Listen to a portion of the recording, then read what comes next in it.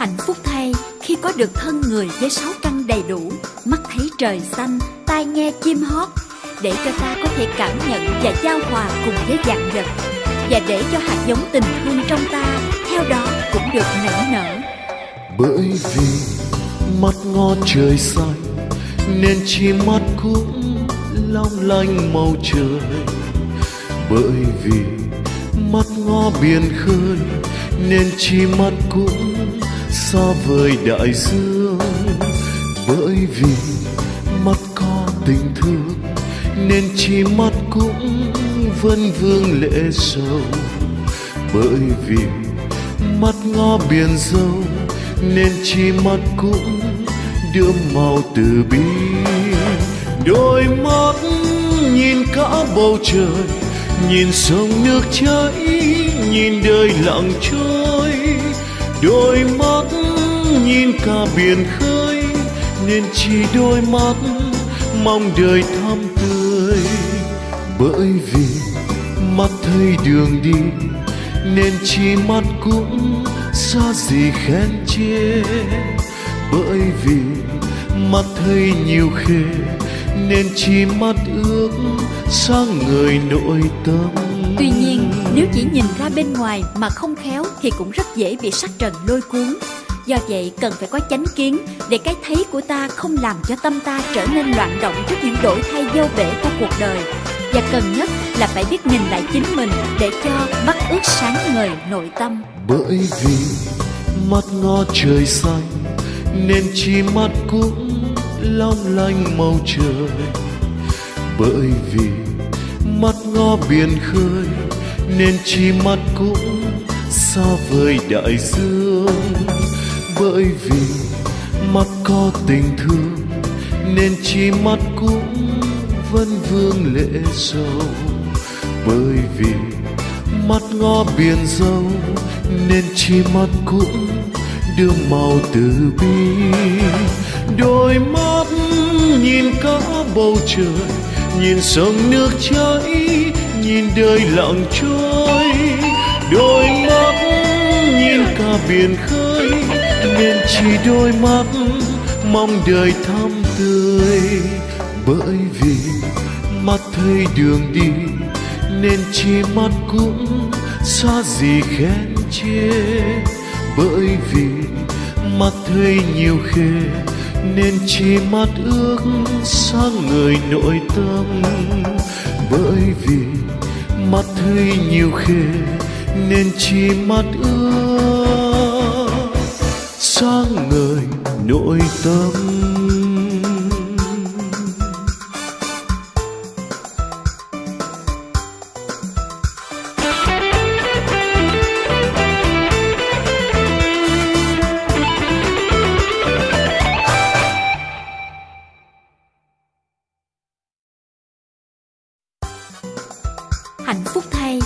có được thân người với sáu căn đầy đủ, mắt thấy trời xanh, tai nghe chim hót, để cho ta có thể cảm nhận và giao hòa cùng với dạng vật, và để cho hạt giống tình thương trong ta theo đó cũng được nảy nở.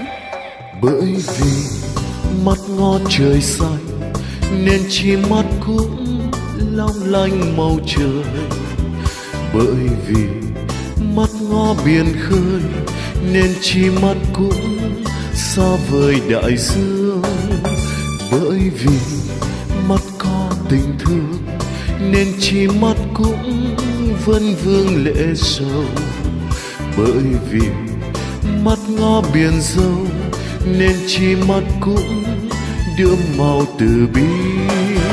Đôi mắt nhìn cả bầu trời, nhìn sông nước chảy, nhìn đời lặng trôi đôi mắt nhìn cả biển khơi nên chỉ đôi mắt mong đời thăm tươi.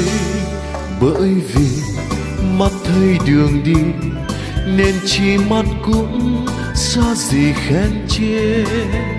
Bởi vì mắt thấy nhiều khê nên chỉ mắt ước sang người nội tâm. Tuy nhiên, chỉ nhìn ra bên ngoài mà không khéo thì cũng rất dễ bị sắc trần lôi cuốn. Do vậy, cần phải có chánh kiến để cái thấy của ta không làm cho tâm ta trở nên loạn động trước những đổi thay vô bể của cuộc đời.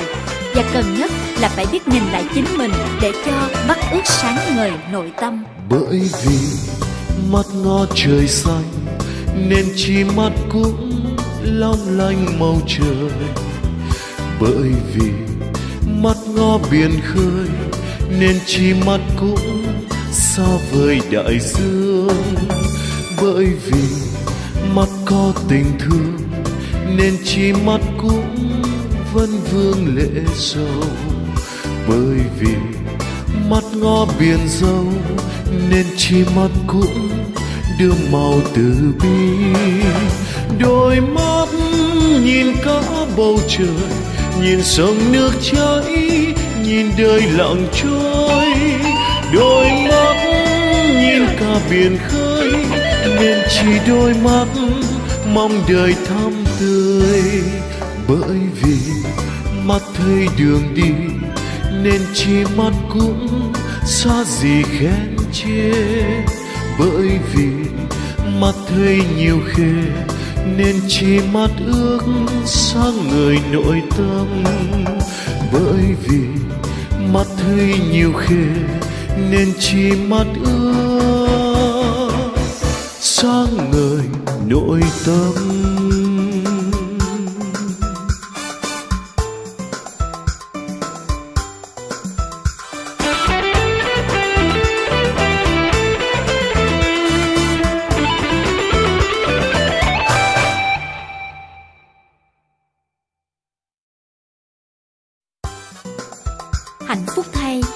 được thân người với sáu căn đầy đủ, mắt thấy trời xanh, tai nghe chim hót, để cho ta có thể cảm nhận và giao hòa cùng với dạng vật, và để cho hạt giống tình thương trong ta theo đó cũng được nảy nở.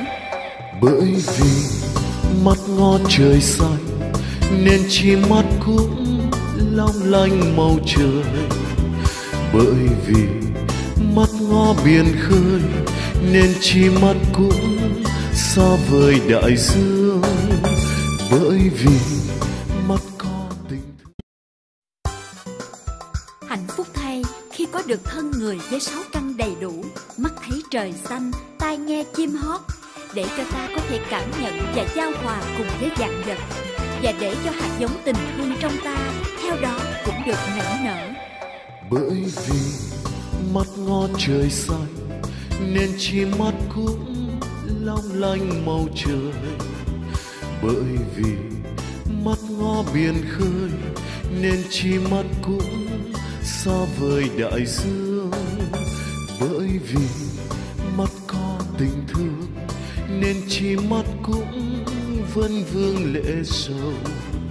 Bởi vì mắt ngó biển dâu nên chi mắt cũng đưa màu từ bi đôi mắt nhìn cả bầu trời, nhìn sông nước chảy, nhìn đời lặng trôi. Đôi mắt nhìn cả biển khơi, nên chỉ đôi mắt mong đời thắm tươi. Bởi vì mắt thấy đường đi, nên chỉ mắt cũng xa gì khen chê. Bởi vì mắt thấy nhiều khê nên chỉ mắt ước sang người nội tâm Tuy nhiên, nếu chỉ nhìn ra bên ngoài mà không khéo thì cũng rất dễ bị sắc trần lôi cuốn. Do vậy cần phải có chánh kiến để cái thấy của ta không làm cho tâm ta trở nên loạn động trước những đổi thay vô bể của cuộc đời. Và cần nhất là phải biết nhìn lại chính mình để cho bắt ước sáng ngời nội tâm. bởi vì mắt ngó trời xanh nên chi mắt cũng long lanh màu trời. Bởi vì mắt ngó biển khơi, nên chi mắt cũng xa vời đại dương. Bởi vì mắt có tình thương, nên chi mắt cũng vẫn vương lệ sầu. Bởi vì mắt ngó biển dâu, nên chi mắt cũng đưa màu từ bi. Đôi mắt nhìn cả bầu trời nhìn sông nước chảy nhìn đời lặng trôi. Đôi mắt nhìn cả biển khơi, nên chỉ đôi mắt mong đời thắm tươi. Bởi vì mắt thấy đường đi nên chỉ mắt cũng xa gì khen chê bởi vì mắt thấy nhiều khê, nên chỉ mắt ước sang người nội tâm. Bởi vì mắt thấy nhiều khê, nên chỉ mắt ước sang người nội tâm.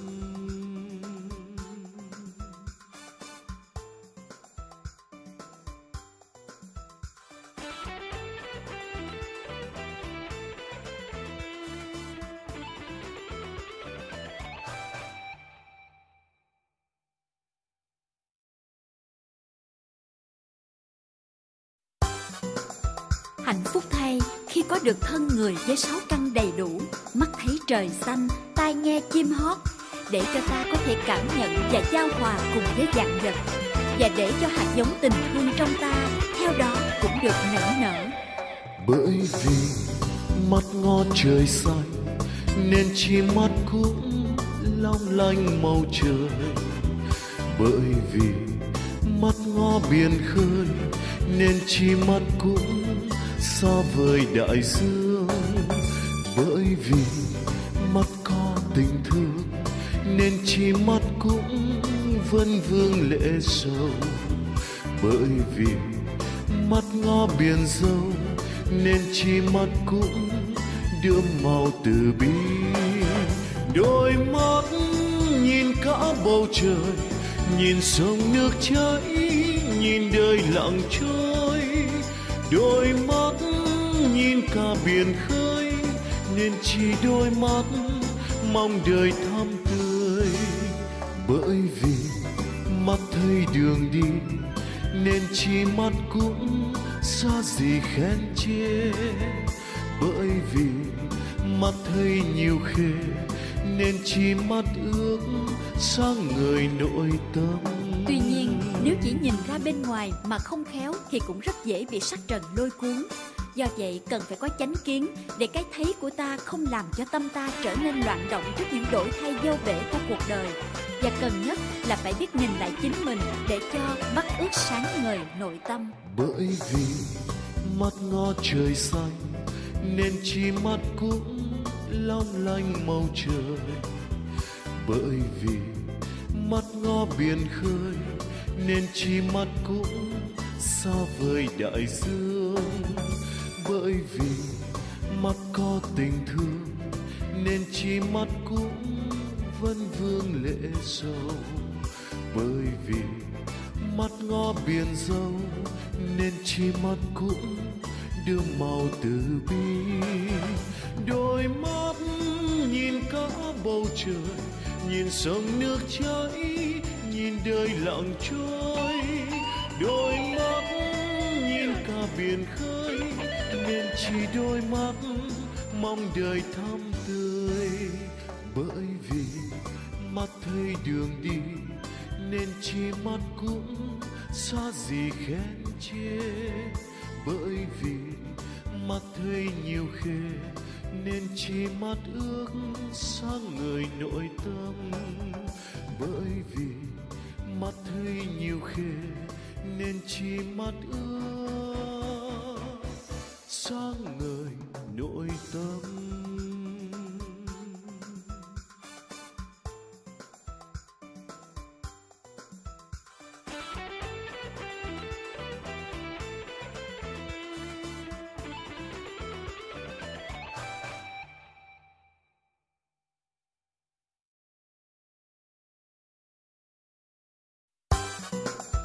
Hạnh phúc thay khi có được thân người với sáu căn đầy đủ, mắt thấy trời xanh, tai nghe chim hót, để cho ta có thể cảm nhận và giao hòa cùng với vạn vật, và để cho hạt giống tình thương trong ta theo đó cũng được nảy nở.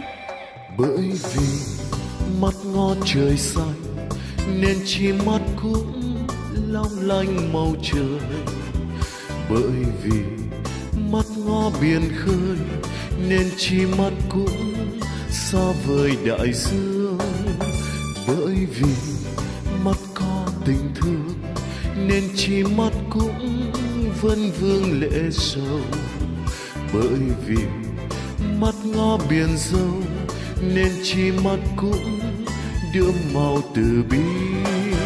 Đôi mắt nhìn cả bầu trời, nhìn sông nước chảy, nhìn đời lặng trôi đôi mắt nhìn cả biển khơi, nên chỉ đôi mắt mong đời thăm tươi. Bởi vì mắt thấy đường đi, nên chỉ mắt cũng xa gì khen chê. Bởi vì mắt thấy nhiều khê, nên chỉ mắt chính vì vậy, thầy muốn nhờ cái bài pháp đó mà tự nhiên thầy gợi cho thầy một cái cái cảm hứng muốn chia sẻ cái bài pháp sáng nay. Thì cái bài pháp sáng nay có cái tựa đề là hành thiền và sống thiền.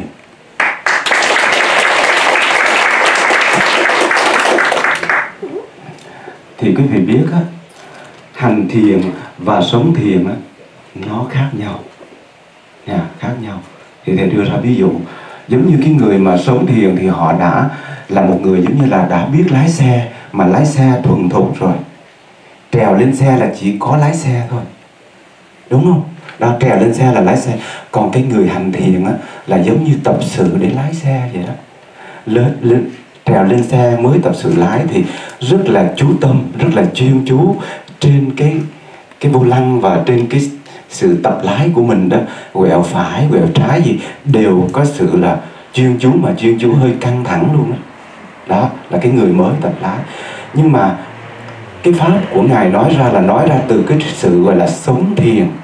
Sống thiền, tức là mình giống như cái người đã thuần thục.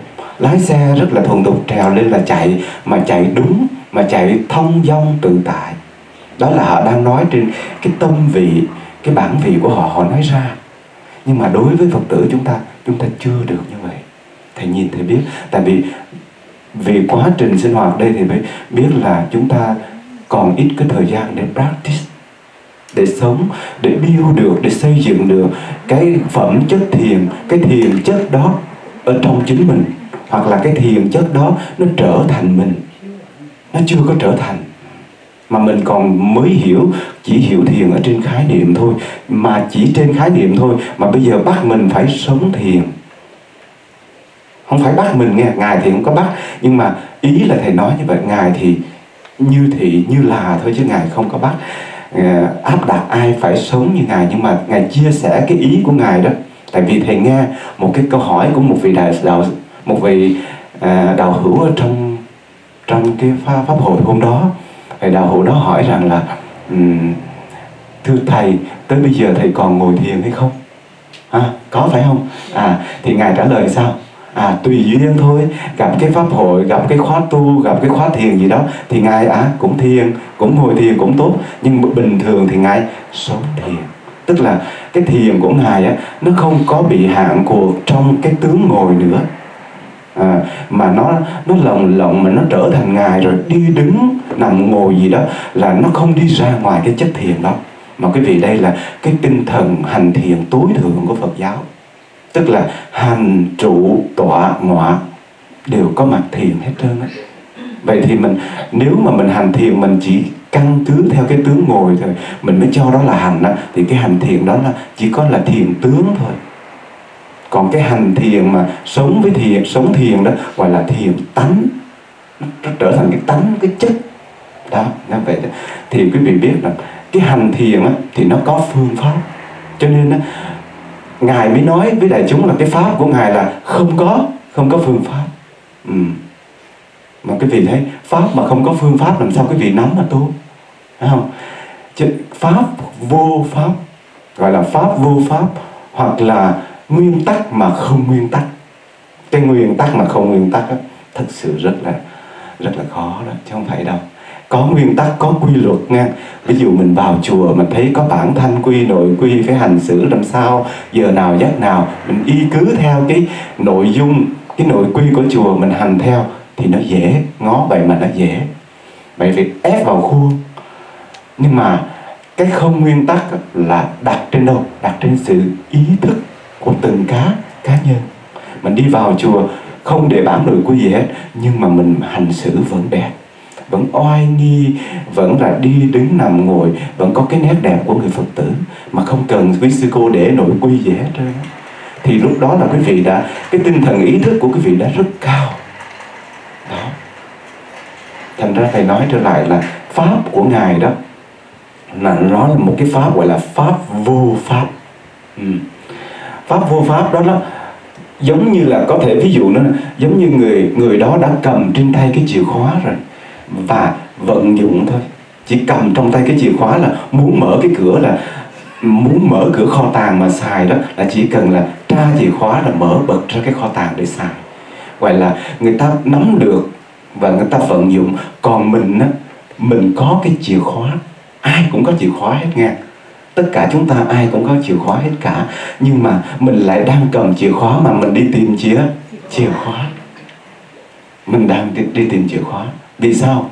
Bởi vì các ngài thấy rằng là có một cái tư tưởng là phải là tu vô tu tu, chứng vô chứng chứng. Tu mà không thấy mình tu, chứng mà không thấy mình chứng. Tức là vô sở vô sở đắc, vô sở đắc. Cái bài pháp hôm nay thầy xin thông báo trước là nó hơi nhức đầu, quý vị. Chút ngày tại vì sao vô sở đắc này? Ví dụ nghe quý vị có 10 đô ở trong túi, ha, là của quý vị. Nhưng mà quý vị bỏ trong cái áo rồi thời gian quý vị quên đi, treo đâu đó quý vị quên. Nhưng mà tình cờ sáng nay quý vị mặc lại cái áo đó. Quý vị thò tay, ủa, móc ra cái tờ giấy và thì ra 10 đồng 10 đô. Thì quý vị thấy cái đó là của ai cho hay là của mình? Của chính mình, đúng không? Của chính mình thì cái này là giống như mình có sẵn cái tánh giác. Cái tánh giác đó là của mình mình nhận lại. Và mình đem ra mình xài cái 10 đồng đó. Chứ cái, có cái người khác cho đó là không phải là gọi là có cái gì đó đắt, đúng không? Còn cái của mình thì gọi là làm sao mà đắt được? Thì cái tánh giác là như thế. Cái tánh biết, tánh giác là cái gọi là cái bản bản chất mà gọi là cái bản thể của mình thì là cái pháp của ngài đó là trở về và sống với. Tức là trở về với tánh giác và sống với cái tánh giác đó thôi, chứ không phải đi tìm nữa. Đó. còn á, phần đông chúng ta vào thiền là chúng ta đang đi tìm, gọi là tìm phương pháp. Ai cũng đi tìm hết. Quán thân, quán thọ, cái trường truyền ờ, trường phái gọi là quán hơi thở niệm hơi thở là niệm thân thì đi tìm cái người cái người mà thích niệm thân thì đi tìm cái trường phái niệm thân. Trường phái niệm tâm quán tâm thì đi tìm cái trường phái quán tâm. Cái trường phái quán thọ thì đi tìm ngài Goenka đó trường phái quán tâm là của ngài uh, Mahasi rồi chẳng hạn thì là đi tìm theo cái đó và mình đang đi tìm là đi tìm cái pháp.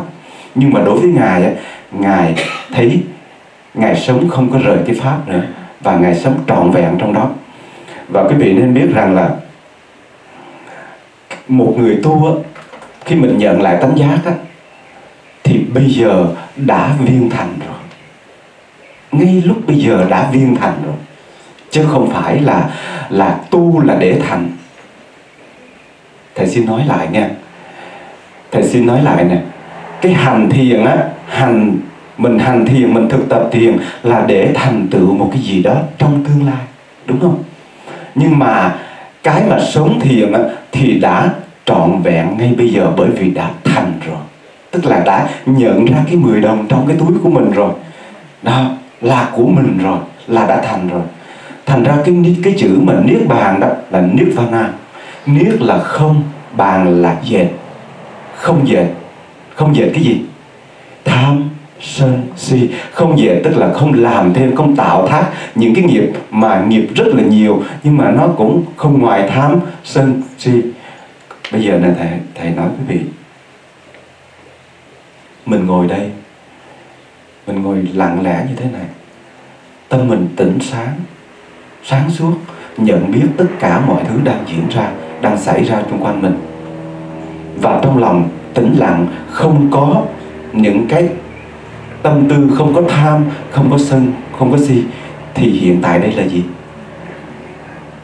Niết niết bàn nếu mà ngồi đây lặng xuống buông hết tất cả này, sống với sống với cái tánh biết rất là tròn sáng tĩnh lặng chiếu soi tịch lặng thì ngay đây chính là niết bàn.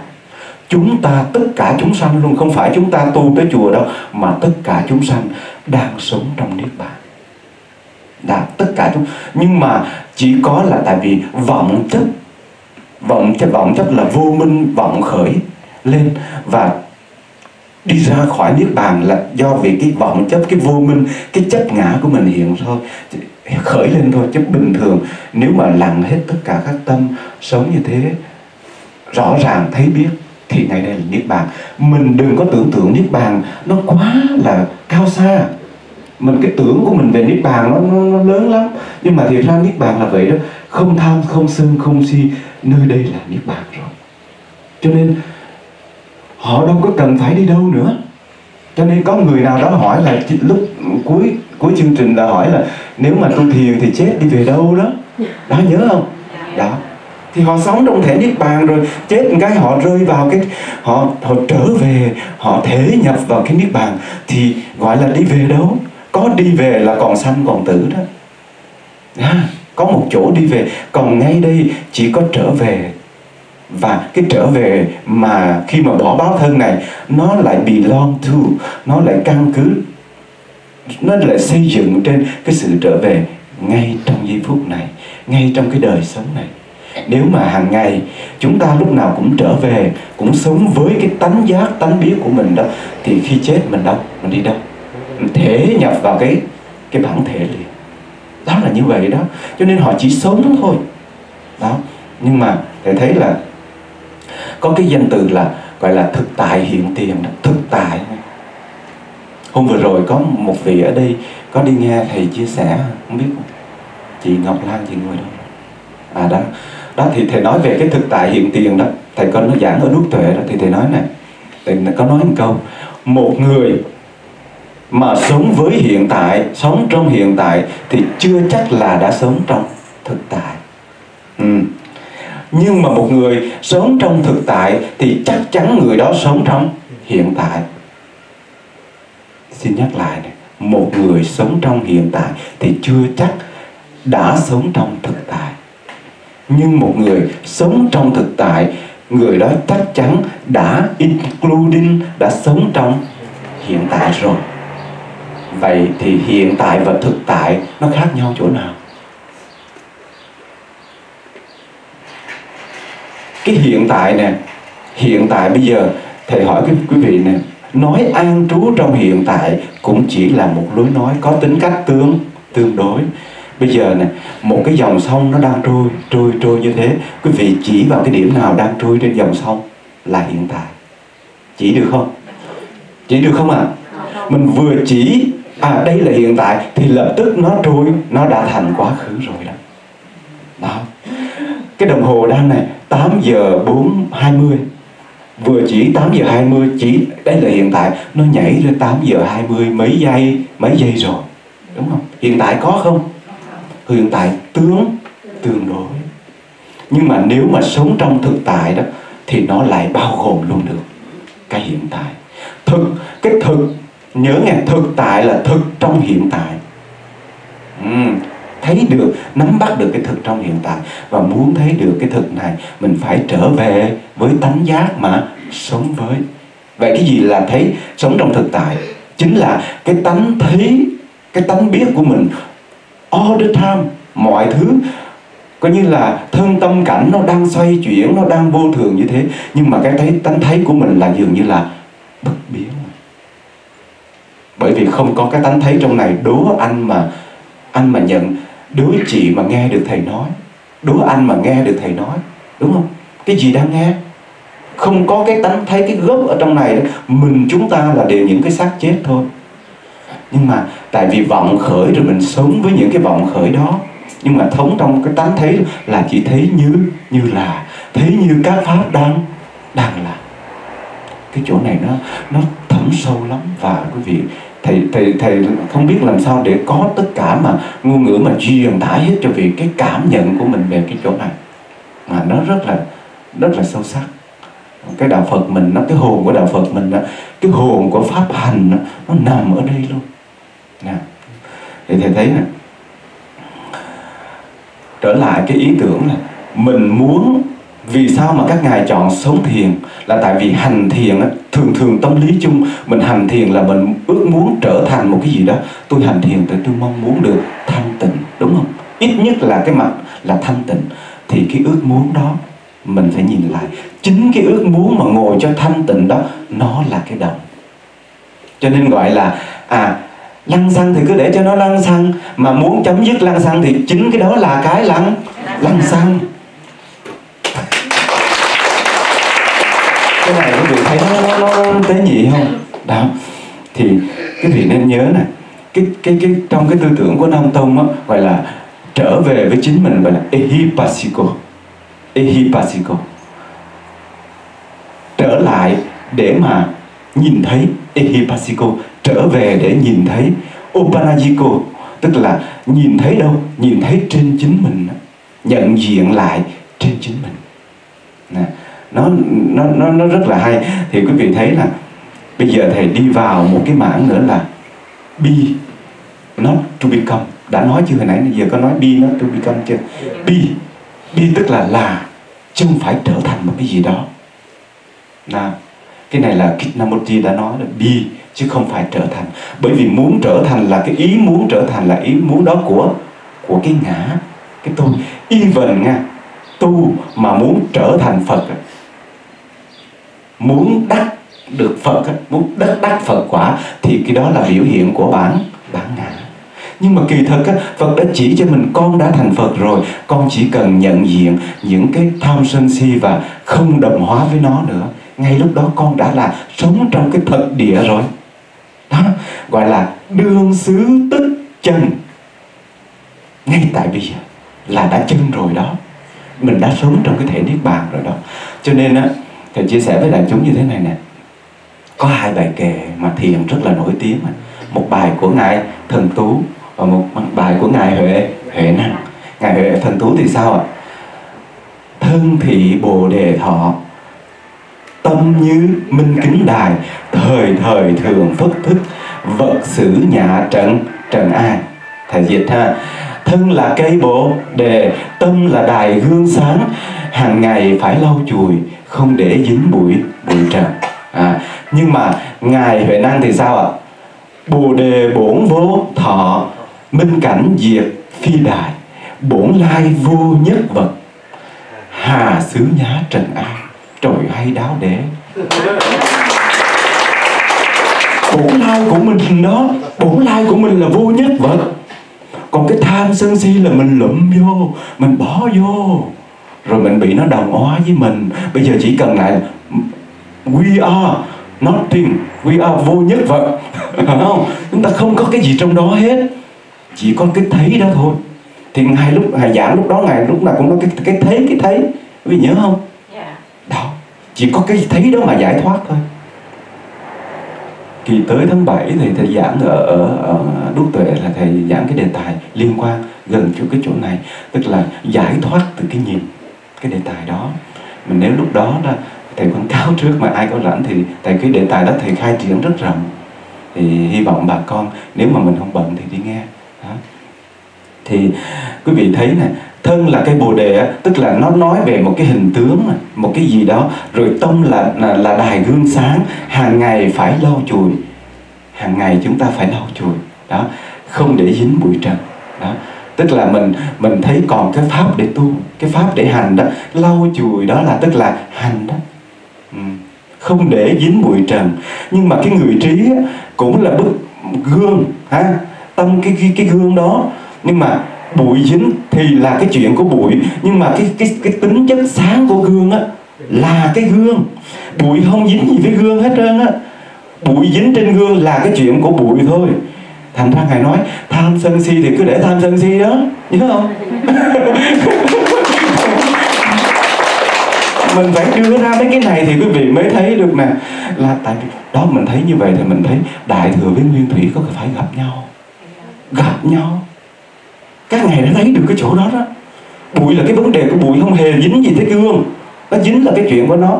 Tại vì mình dính là mình chấp nhận cái bụi đó là mình. Bây giờ chỉ cần mình nhận mình là gương thôi. Còn nó bám bao nhiêu nó bám mà bám cả ngàn năm cũng được nữa. Thì nó là vẫn là nó nó không phải là gương. Chỉ cần không nhận thôi. Là giải thoát thôi. Còn bây giờ, mình có tham, có sân, có si nè. Rồi bây giờ mình ngồi, mình khống chế, mình trừ, mình dứt trừ nó, mình buông nó xuống, thì trong nội tại của mình nó xảy ra cái gì? Súng, xung lực. Cái này tinh tế lắm. Ai chửi mình câu á, bắt đầu nói à sáng nghe thầy giảng nhưng mà nói à hôm nay tôi mới nghe giảng xong tôi mới lại phật xong tôi nhịn bà đó nghe tôi nhịn chị đó nghe.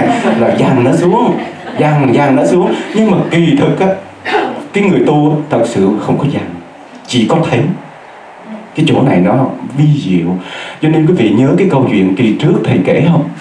Là có một ông bà la môn tới uh, chửi khống tự nhiên không khống mà chửi phật đó.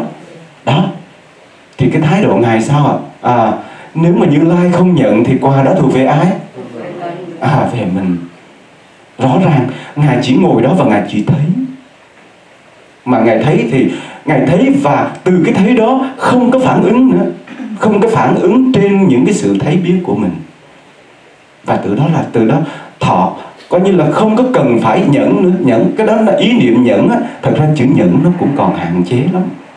Cái người biết tu không nhẫn á quý vị có tin không?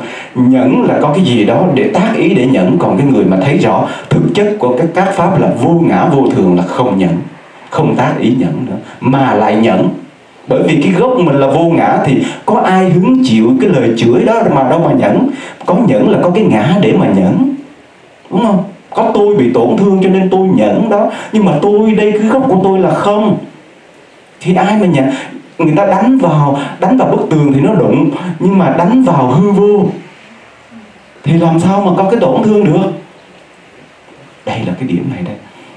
Thành ra là bây giờ này trở lại này có một câu nói mà thầy của ngài nói mà thầy cũng nhớ tại tại tại đã học qua Nikaya thì ngài nói nè, như lai đó, không có bước tới mà không có dừng lại. Ngay đó như lai thoát khỏi bọc bọc lương à quý vị cảm nhận được không? Hồi đó thật sự thì đã tu rồi, bảy tám năm rồi mà đọc tới chỗ, cái chỗ này thì không có hiểu. Như lai không có bước tới, không có dừng lại. Ngay đó, như lai thoát khỏi bọc lưu, tức là thoát khỏi bọc lưu đó là gì? Sanh tử. Sanh tử. Mà không bước tới là gì?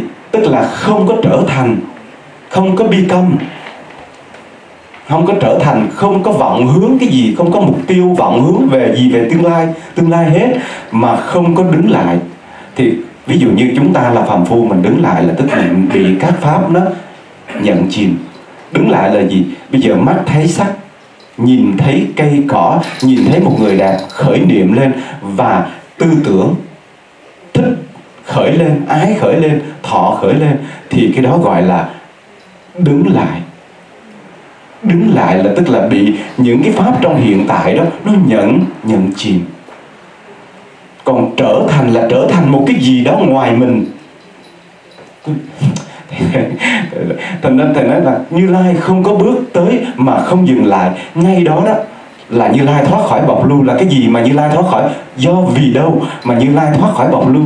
Là chỉ vì cái cái cái thấy. Thấy mà dừng lại trên đó. Thấy mà không có phản ứng không có bị cái những cái mình thấy mình nghe mình nhận chìm và mình an ổn trong trong đó và giải thoát từ cái thấy của mình cái nghe của mình. Đó. thì bây giờ nè có một cái câu nói mà tiếng Anh nào nói là we don't see we don't see things as we are we see things as uh, we don't see things as they are we see things as we are. Chúng ta không nhìn thấy sự vật như chúng nó đang là mà chúng ta nhìn thấy sự vật như chúng ta đang đang là. Quý vị cảm nhận không? À, chúng ta không nhìn thấy sự vật như chính cái bản vị của nó mà chúng ta nhìn thấy sự vật qua cái lăng kính của mình cái này rõ hơn chút rồi ha. Ví dụ khi quý vị nhìn ra cuộc đời quý vị mang cái lăng kính màu đen thì nhìn cuộc đời nhìn ra cái khung cảnh làm sao? Sẽ màu đen. Mang cái lăng kính mang cái kính màu hồng thì nhìn cuộc đời màu màu hồng. Cho nên nhìn màu đen là nhìn về bi quan mà nhìn màu, màu, màu hồng là lạc quan. Và cái lạc quan hay cái bi quan đó thật sự là nó có thật không? Nó tùy theo tâm thức của mỗi mỗi người. Chứ còn cuộc đời này, nó là như thị nó không lạc quan mà nó không bi quan. Mà do cái nhìn của mình về sự vật mà nó trở nên lạc quan hay là bi quan. Mà cái nhìn chân thật nhất là bỏ cái kiến xuống giùm thầy. Đó. Là nhìn sự vật đúng như cái thực thực chất của nó. Quý vị cảm nhận được không bây giờ thầy đưa ví dụ nó minh họa vấn đề này này có một ông thiền sư buổi chiều đó, ông đi lên đồi. Ông đi lên đồi tự nhiên đứng, nhìn trời đất bát ngát hư không bát ngát. Cái ba ông học trò ở dưới, ở, nhìn lên đồi thấy thầy mình. Cái thế là thấy thầy đứng trên đồi nhìn, đứng một mình ơn nó trển thì ba ông mới lũ nhau lên. Cái cái ông đầu tiên á, ông học trò đầu tiên mới hỏi như thế này. Thưa thầy thầy đứng đây để mà thầy chờ ai vậy? Ta đứng đây chứ ta đâu có chờ ai. Cái nói chắc có lẽ là thầy lên đây là cái ông thứ hai mới nói chắc có lẽ thầy lên đây chắc thầy không mát không gió không thầy? Không ta chỉ ta đứng đây chứ ta, ta cũng không có không gió gì hết. Có cái ông thứ ba mới nói à, à vậy có phải là thầy mất cái gì thầy lên đây thầy đi tìm không thầy? Không ta chỉ là đứng đây thôi.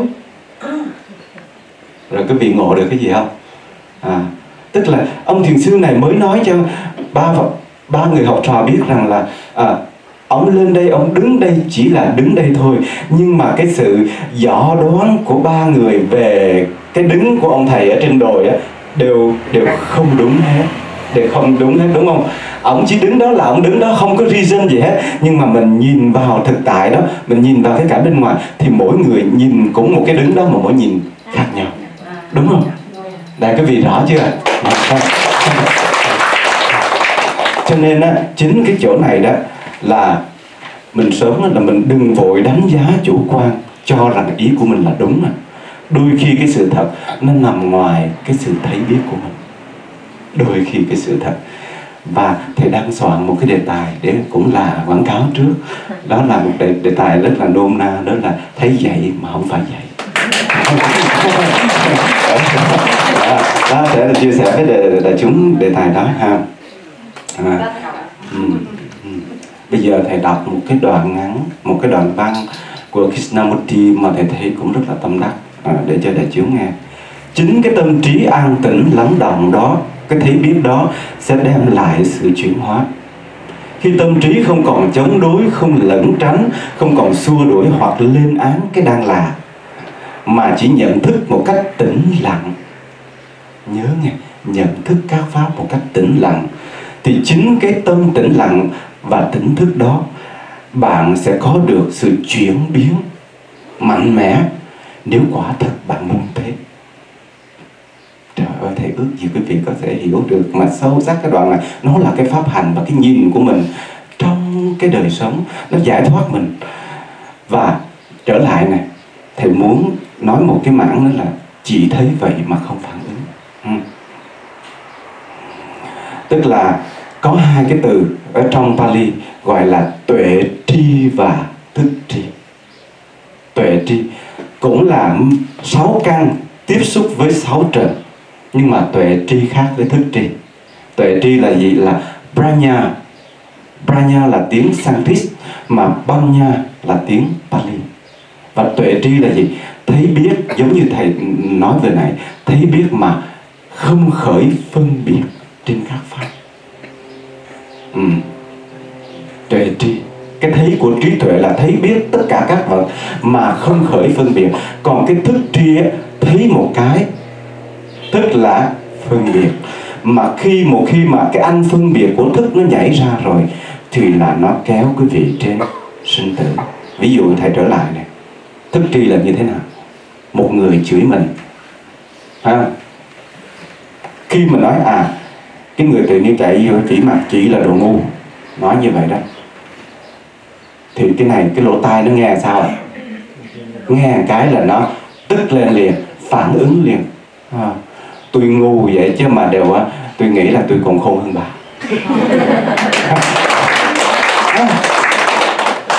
Cái đó cái đó chính là cái phản ứng. Mà cái phản ứng đó là do gì? Do thức tri thức nó nhận diện và nó phân biệt.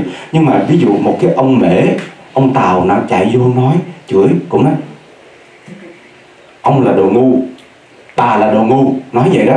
Nhưng mà chính mình, chính thầy hoặc là chính quý vị không hiểu được cái tiếng tàu đó là nói cái chữ đó là chữ ngu, thì cái trong này nó có khởi không?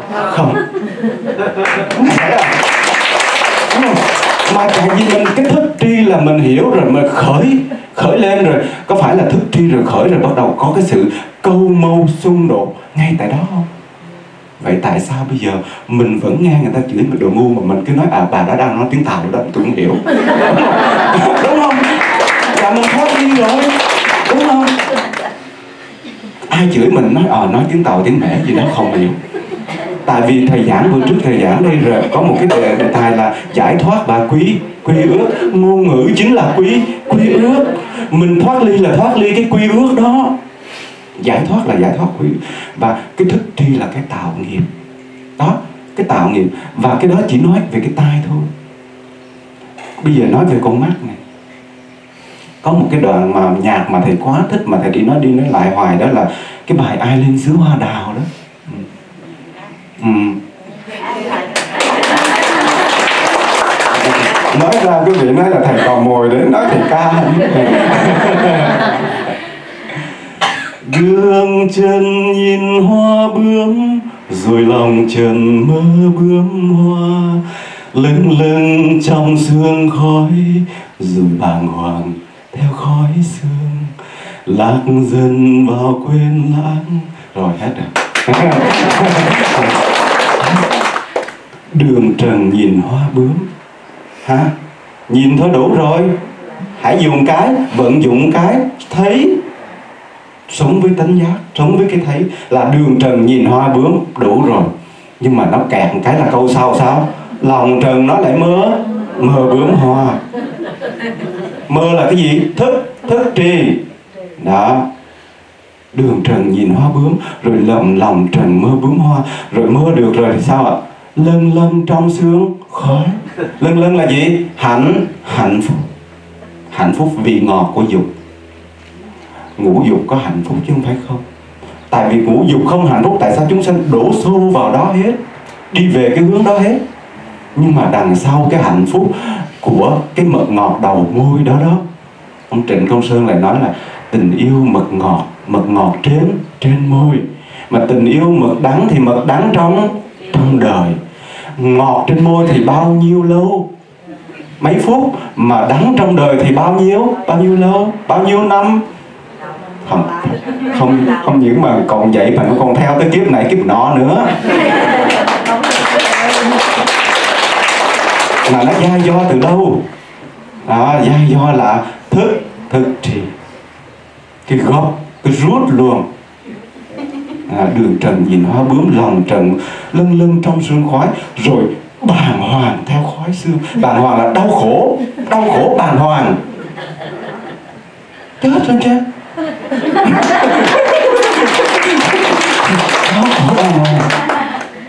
rồi, đó, rồi, bắt đầu là, bắt đầu vong thức. Cái cái cái cái đánh giá của mình là lạc dần vào quên lãng, thất niệm. Đó tôi nói cuộc đời nói pháp nói pháp hay đáo để luôn. Mà chúng ta nghe, chúng ta ờ hay hay gì chúng ta nghe, không nhận ra pháp. Thầy thầy, bởi vậy khi mà quý vị nghe pháp đường pháp, thầy chấp quý vị nghe nhạc quý vị cứ nghe đi đều mới thấy mới khổ. Đừng nói xa nhau cho tâm hồn đau khổ. Đó, à, đừng nói xa nhau cho mất lệ hoang mờ. Là tại vì cái giai do gặp đâu gặp nhau lần cái là phút đầu gặp em là tinh tú quay cuồng rồi. Đó. Bây giờ là đau khổ là do ai à? Đau rồi bây giờ là mình đã đồng hóa cái hạnh phúc mình với đối tượng đó rồi. Đối tượng đó đi mất rồi là sao? Người đi một nửa hồn tôi. Mà một nửa hồn kia. Không. Chúc mừng chúc mừng cho ai nói ra chúc mừng luôn. Một nửa hồn kia nhảy xuống nhảy xuống cầu. À, ông tin đó bây giờ quý vị về cầu bình lợi có thử bao nhiêu đến bao nhiêu cái linh hồn đó. Phải đi vớt dông mệt luôn mấy ông thầy luôn. Đó là là do ai? Gia do từ ban đầu là lo do thức thức tri đi rút luôn. Không? Cho nên chúng chư Phật chư Bồ Tát nhìn mình nhìn xuống như vậy mà thương thương tội quá. Tại sao nó đi lạc như vậy? Ủa chắc là trung tim đen tim đỏ gì? Trúng tim đen tim đỏ gì đấy mình? Con bình thường á à đó đó, đó. Mà cái vị biết cái chuyện này không phải là xảy ra trong hiện tại mà ngay cả tu rồi mà trong thời Phật á để thầy kể nghe. Có một vị đó là Sa Di mà tu theo ngài Sariputta tức là ngài Sa, Sa Di đó là cũng là thanh niên Sa Di đó. Rồi tu với ngài à, Xá Lợi Phất đó, đó mà chứng được ngũ thông. Là trong ngũ thông đó gọi là có một cái thông gọi là gọi là có thể thần túc thông đó, là bay được đó thì một hôm ông đi khất thực về ông lại không có đi về tinh xá mà vận dụng thần thông bay về tinh xá. Thì khi đang bay về như thế đang bay la đà la đà như vậy đó là nghe một cái giọng hát ở dưới đồi ở dưới núi ông đi ngang mà giọng hát mà hay quá. Cái thế là ông lắng ông đang bay mà ông giống lâu giống cái tai ông nghe. À thì cái cái căn mà nó đụng với cái trần rồi thì sao ạ? Cái thính à, nó nghe rồi cái cái nghe rồi nó tác động qua nhĩ thức nó đụng với tinh trần thì thì cái nhãn thức á, cái nhãn căn á thì nói ủa sao anh có quyền anh nghe mà tôi không có quyền thấy? Là nó, cái nhãn cái nhãn căn của ông sa di đó nó lên tiếng nói thôi bây giờ là phải đi xuống phải nhìn cái tìm cho ra cái tác giả của cái giọng hát này. Cái thế là ông xuống. Ồ ông xuống bên con rừng bên ông gặp bên con suối một cô thiếu nữ. Trời ơi nhìn cái là nhìn sững sờ liền. Đẹp quá mà hát hay nữa. Đó. Thế là lúc đó là sao ạ? Lạc lạc lòng mất chánh niệm. Không về tinh xá luôn không ôm bác về tinh xá luôn mà ở lại lân la làm làm quen. Rồi chuyện gì vài ba bữa sau là quý vị biết rồi ha. Tức là không, đó là không còn tu nữa. À, không còn tu nữa rồi sau này đó quý vị biết khi hai người đã thành vợ thành chồng mà quý vị nên nhớ vị này là chứng ngũ thông rồi. Đó thành vợ thành chồng rồi. Thì đau khổ cắn đắng với nhau. Có nhiều cái cái chuyện mà thầy muốn kể ra nhưng mà kể ra nó dài quá nó là không đi kịp theo cái thời pháp. Nên thầy không có kể.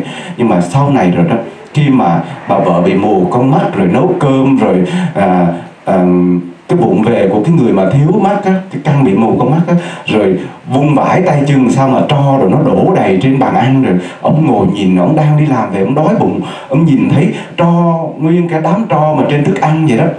Cái, cái ông ngồi ông thở dài ông ngao ngán nói sao vậy ta? Vì đâu mà tại mình không có tu mà bây giờ mình chọn đường đau khổ như thế này.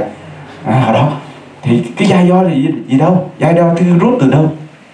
Từ cái thức thức thì là tại vì khi mà nghe cái tiếng hát đó đó là không có chánh niệm. Rồi bắt đầu đi xuống tìm, rồi bắt đầu thay cái muốn con mắt nó thỏa mãn rồi là muốn đi tới cái vấn đề hôn nhân xa xôi hơn nữa. Và từ đó là nó từ một cái nghe mà nó duyên sinh duyên sinh như thế. Mà quý vị có nhớ là đôi khi chúng ta nghĩ nè, vợ chồng thành thành tựu đời sống hôn nhân tới bây giờ có phải bắt đầu từ một cái nhìn không?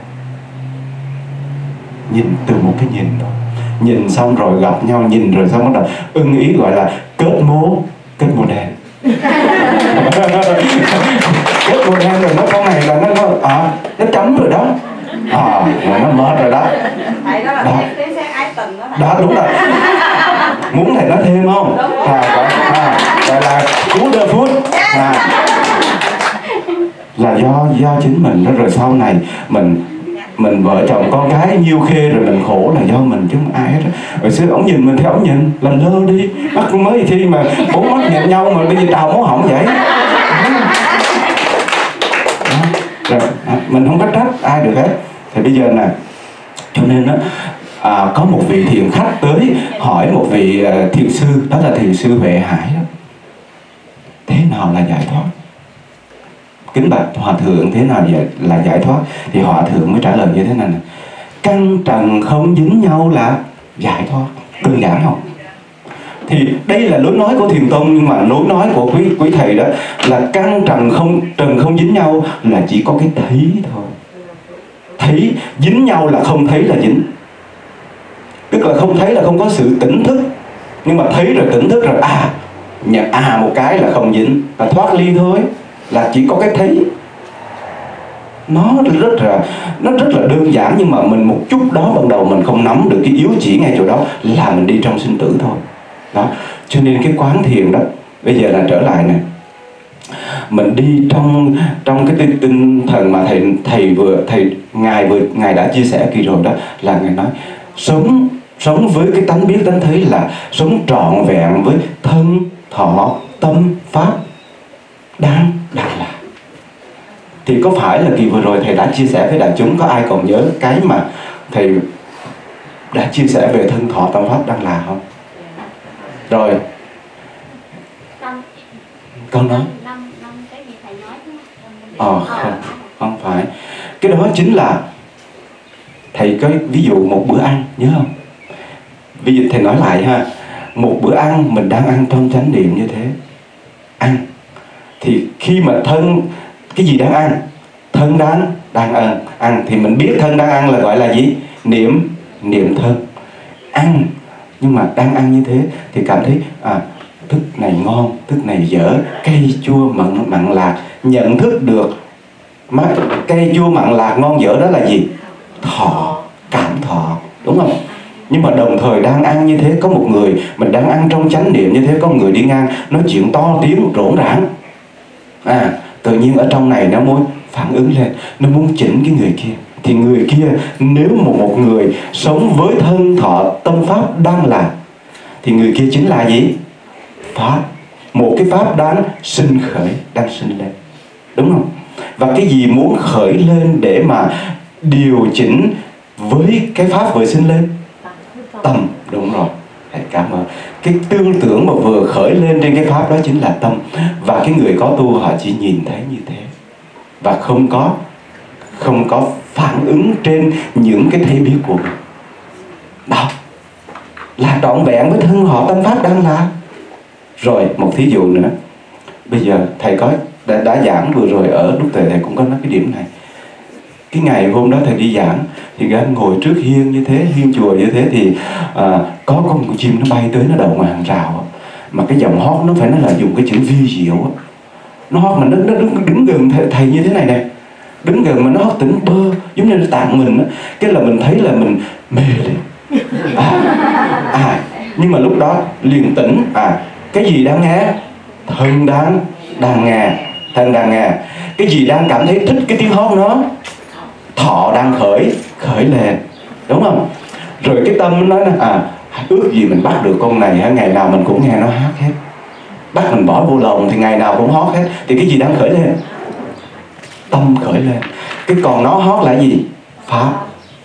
Phải là thân thọ tâm pháp không? Đó thân thọ tâm pháp. Trong mọi sự hành hoạt đều mình mình có có cái cái, cái niệm này hết thì mình sống trọn vẹn. Và vừa rồi thầy cũng có chia sẻ đó một vị sư bạn có thể ở đây New Delhi. Một hôm gửi cho thầy một cái email. À gửi cho một cái email.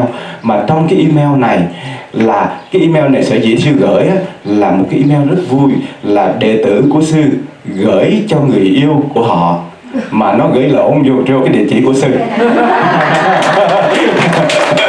Đó, mà trong đó có bốn bài bốn câu thơ thật là đọc. Thì câu thơ như thế này thầy đọc nha. À, đêm khuya ngồi uống một mình. À, cô đơn mũi đốt giật mình nhớ em.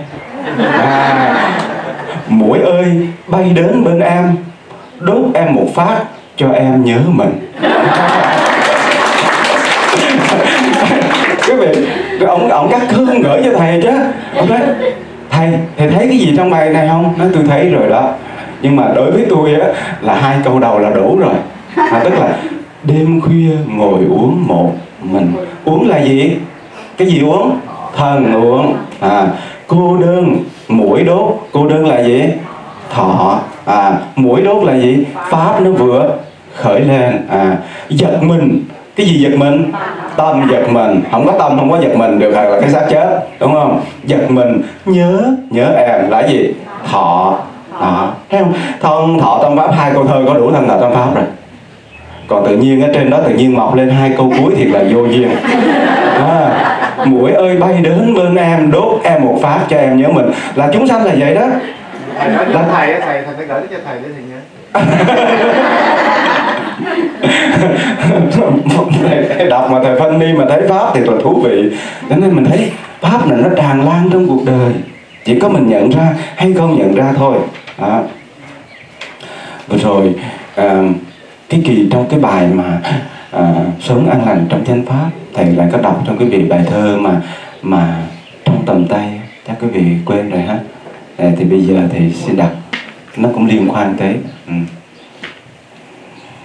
có đâu miền giải thoát ở phía bên kia đời bây trừ không an lạc chắc gì mai thảnh thơi. Đâu có đời an vui khi vùi trong trong tham muốn, trong vui chứa ngậm ngùi. Này, nói nãy giờ nhiều rồi ha. Hiểu ra chừng đã muộn. Sống một ngày không rộn, nếm giá trị một ngày. Khi lòng không xáo trộn là sống từng phút giây. Sống hiền như cỏ cây, buông ưu phiền oán giận thoáng chốc hồn mây bay, rong chơi ngoài vướng bận. Bậc trí nương kề cận, mồi thắp ngọn đèn tâm, trăng tàn rồi nguyệt tận, bước về quê âm thầm. Sống trả màu cho sắc, trả tiếng về âm thanh, trả muôn điều vạn sự cho các pháp vận hành quý vị cảnh, đây là cái bốn câu thầy bốn chuyên chở trong bài pháp hôm nay. Sống mình phải biết trả màu cho sắc, trả tiếng về âm thanh, trả muôn điều vạn sự, cho các pháp nó cứ vận hành theo nó mà mình được dính với nó. Bởi dính ách thác vô bất cứ cái gì là cũng khổ. Dính vào chiếc xe khổ, chiếc xe dính vào đứa con khổ đứa con, dính vào ông chồng khổ bà ông chồng cho nên mình sống thì lỡ tạo ra rồi thì có trách nhiệm nhưng mà đều bớt thì nó khổ. Nên nó, nó khỏe còn không bớt thì nó ôm khổ cả đời. Tới nó lớn rồi nó đi ra nó đi đông đi tây rồi nhưng mà con đi khắp bốn phương trời mà lòng mẹ cũng vẫn đi theo theo con. Là tại vì nó dính rồi mà ai tạo ra cái dính đó? Đó. Nó là như vậy.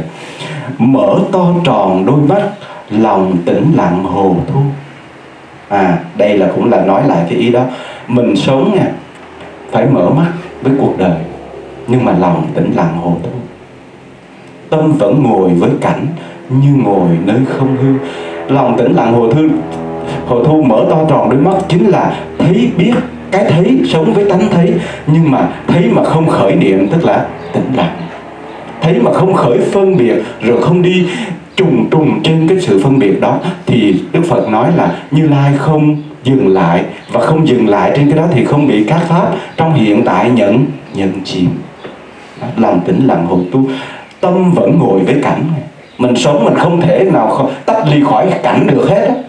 Nhưng mà tâm mình vẫn ngồi với cảnh, mà lòng mình như ngồi ở trong hư không. Cái đây là cái tâm thái giải thoát của cái người một vị thiền giả, một vị hành giả. Ừ sống an vui tỉnh thức trọn vẹn với hôm nay. Là sống đời ý nghĩa hạnh phúc trong trong tầm tay. Là hạnh phúc trong tầm tay cho đâu do mình biết sống với cái tánh giác tánh thấy của của mình. Còn mình có chìa khóa đây mình có chìa khóa hạnh phúc trong tầm tay. Mình, mình đang cầm chìa khóa mà mình không biết sử dụng chìa khóa tức là mình không biết sử dụng tánh tánh thấy thì khổ đau đó là do do là do mình mình không biết sử dụng gia tài của mình gia bảo của mình. Cho nên cái bài pháp mà sư giảng hôm đó thầy thấy là nếu mà quý vị thẩm thấu được nó là cái rút của pháp hành của Phật Phật giáo. Um, có một cái bài nhạc của Trịnh Công Sơn nữa nhưng mà thầy thấy chắc là cái cái cái thời lượng hôm nay không đủ thì thầy lại pass qua cái bài này. Hôm trước thầy giảng lúc thầy, thầy cũng đã có nói về cái bài này tức là bài hãy cứ vui chơi cuộc đời thì có thể cái phần pháp đàm mà quý vị nào ở lại thì thầy sẽ hát và cống hiến cho quý vị bài đó. Hả? À, vậy hả? À, thôi hát một miếng thôi ha.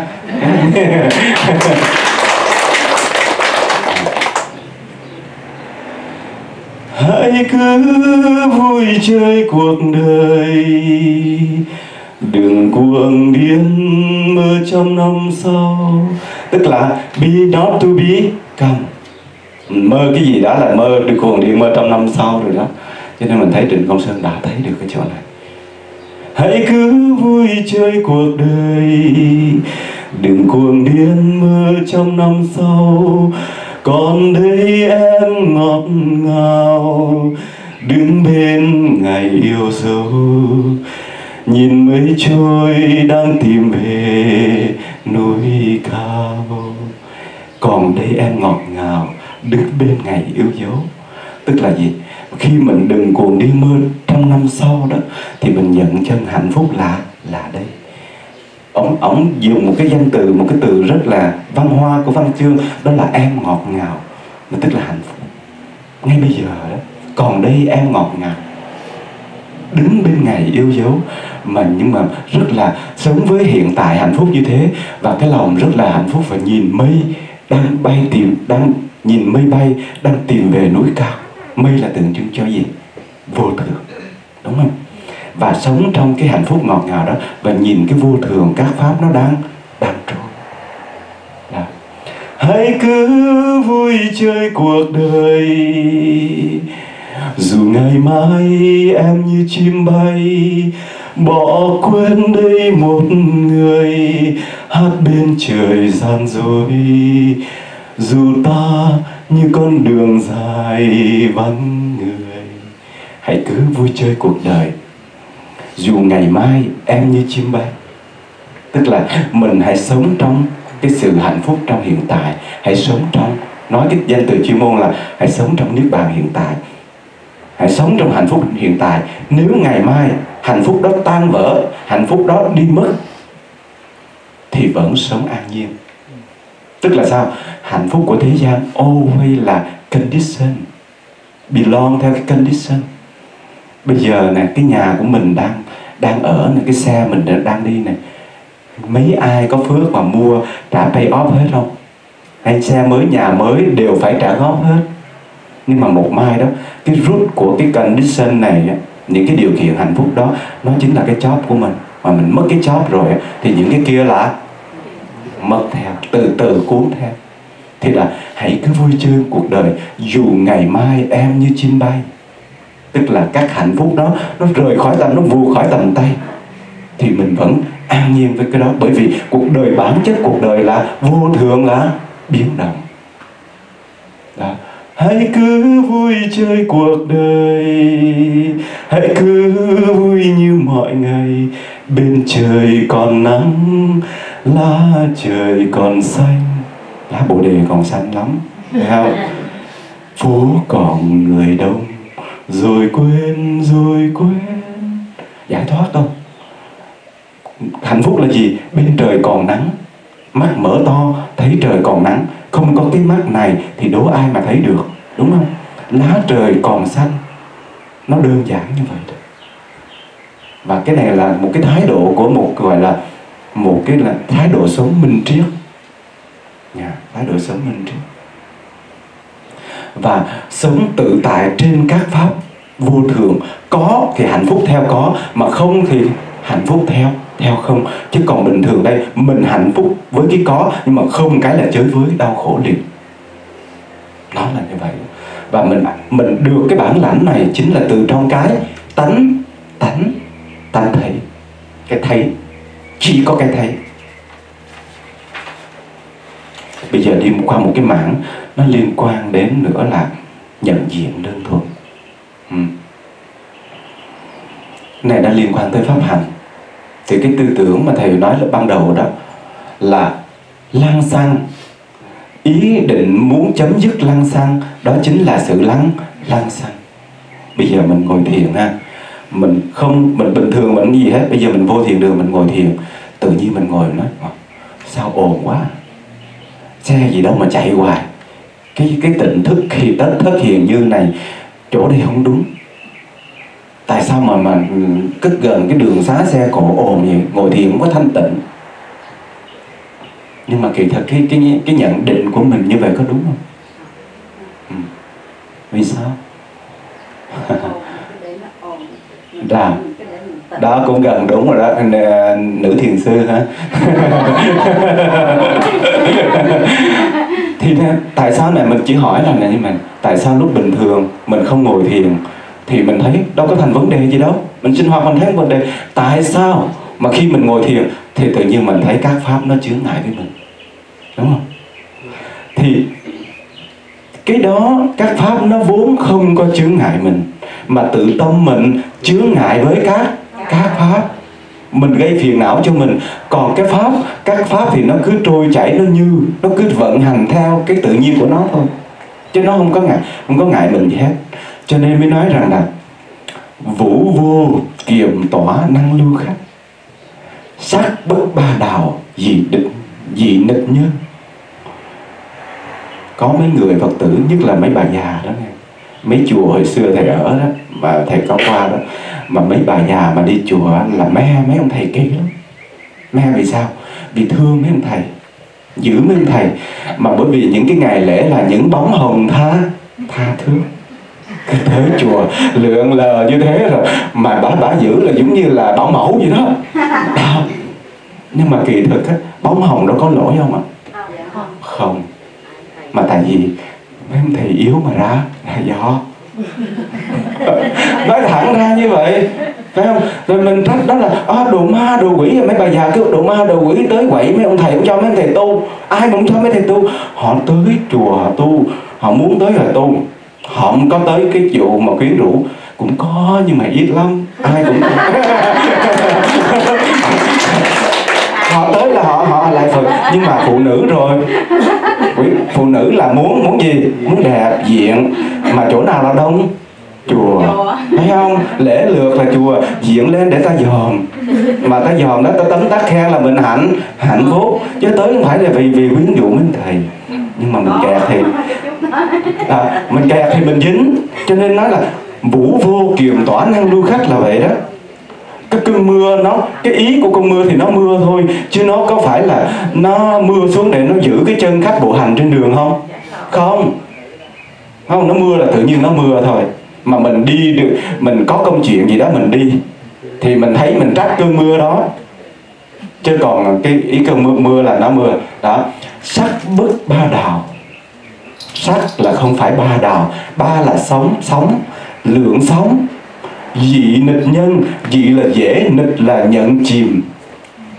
Nhân là người nhận chìm con người. Sắc không phải là cái gì đó dễ nhận chìm con người, mà con người bị nhận chìm bởi bởi sắc là bởi vì giống như hồi nãy thầy vừa nói, là thấy là khởi khởi trên phân biệt và không thể sống được với cái tánh thế của của mình cho nên, nếu một người biết tu là nhận diện đơn thuần khi ngồi như thế, thì nhận diện âm thanh là âm thanh. Âm thanh vốn không ngại mình. Mà tại vì chính mình ngại là mình muốn sự thanh tịnh, muốn trở thành thanh tịnh. Mình không bi mà mình mình lại tu biết tu bị câm đó, cái này nó tế nhị, phải không? Mình ngồi như thế à nhận diện các pháp nó đang trôi. Nếu mà khi ngồi mà không nghe xe chạy, không nghe tiếng chim hót, không nghe tiếng người lao sao. Ngồi như thế là ngồi trong mịt mờ. Đúng không? Ngồi để trở thành gỗ đá vô tri. Nhưng mà ngồi mà vẫn nhận diện hết tất cả các pháp chung quanh. Nhưng mà không dính bất cứ pháp nào. Nhận diện nhận diện và trong sáng trong sự nhận diện. Gọi là nhận diện đơn đơn thuần. Yếu chỉ của thiền tịch thiền gì cũng vậy hết. Nếu mà không nhận ra chỗ này, thầy nói cam chắc tu thì rất nhiều mà không giải thoát. Không giải thoát. Gọi là dụng công rất nhiều nhưng mà thành tựu không bao nhiêu. Cho nên họ họ mà nhận được cái tánh thế này rồi họ đâu có ngồi thiền mà chăm bẩm mà đau khổ mà dụng công vậy đâu. Họ sống được với thiền á là sống nhẹ nhàng thanh thản sống phong thái rất là thiền sư mà quý vị biết rồi. Nói, nói mấy người nói là thiền mấy vị thiền sư nhiều ông lãng mạn. Không phải như vậy cái lãng, cái phong thái đó là phong thái rất là thoát tục, bền bồng. Họ sống không có dính với các pháp. Thành ra giống như lãng mạn, nhưng mà cái này nó là thanh cao. Một cái sự lãng mạn, tinh thần thanh cao, không có dính mắt. Còn bây giờ mình lãng mạn, mình dính vô cái, không không lãng mạn nổi nữa. Dính vô gia đình là không lãng mạn nổi nữa. Nó thành lãng xẹt. Thấy không? nó chỉ là ban đầu thôi. Ban đầu. Nó đẹp chút ban đầu thôi nhưng mà dính vô rồi nó đụng với thực tế. Đụng với thực tế thì hôn nhân nó bạch hóa ra cái con người kia. Và người ta vỡ mộng và ly dị hạ rầm. Mà bây giờ những cái bản quảng cáo ly dị gạo dọc đường, ly dị trẻ lắm đít cao nữa. Hả? là là do đó. Khổ. Cho nên mình thấy là bây giờ này mình đi qua một cái ví dụ nữa nè. Có hai người đã thương nhau. Đó thì là à, cũng một cái con dốc đó con dốc mà dốc gọi là dốc năm dao ở ngoài trung á. Hồi xưa mới thương nhau đó thì khi mà đi cái hoàn cảnh nghèo đó thì ảnh mới chở chỉ đi qua con dốc năm dao. Thì khi lên dốc thực sự cũng nặng lắm. Mà hỏi anh ơi anh mệt không rửa? Ừ. đâu có gì đâu em. Ừ. không có gì đâu em. À, anh vui lắm. Đó nhưng mà lấy nhau rồi 3 năm sau cũng con dốc đó mà đi lên con dốc Nam Giao đạp chở vợ đi sau vậy? Anh ơi anh mệt không rửa. Rồi bà nói hỏi gì kỳ vậy? Bộ tôi trâu sao mấy con tôi mệt?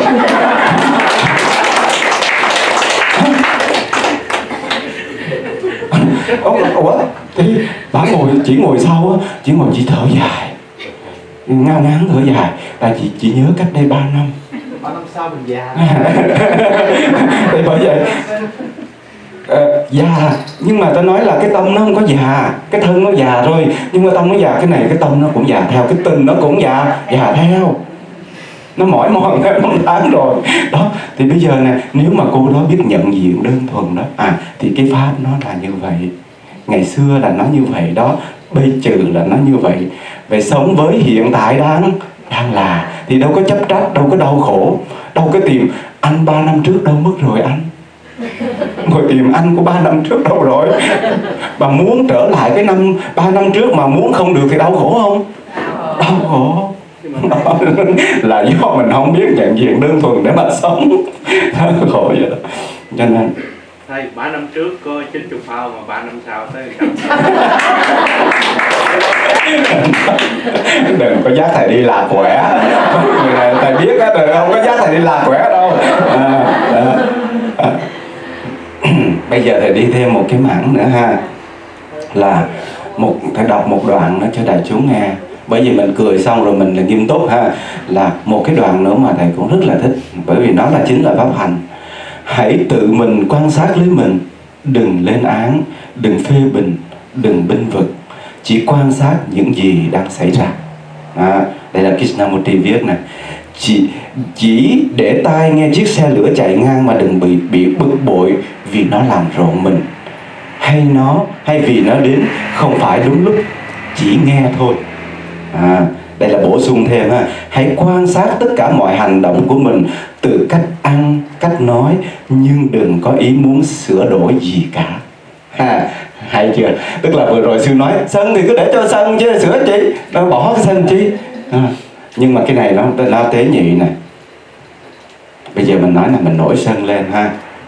Nhưng mà cái người mà vừa nổi sân lên một cái đó, mà không có cái thấy, lập tức là bị tập khí sân động đồng hóa. Còn bây giờ nó sân lên, mình chỉ nhìn à à sân, thấy liền.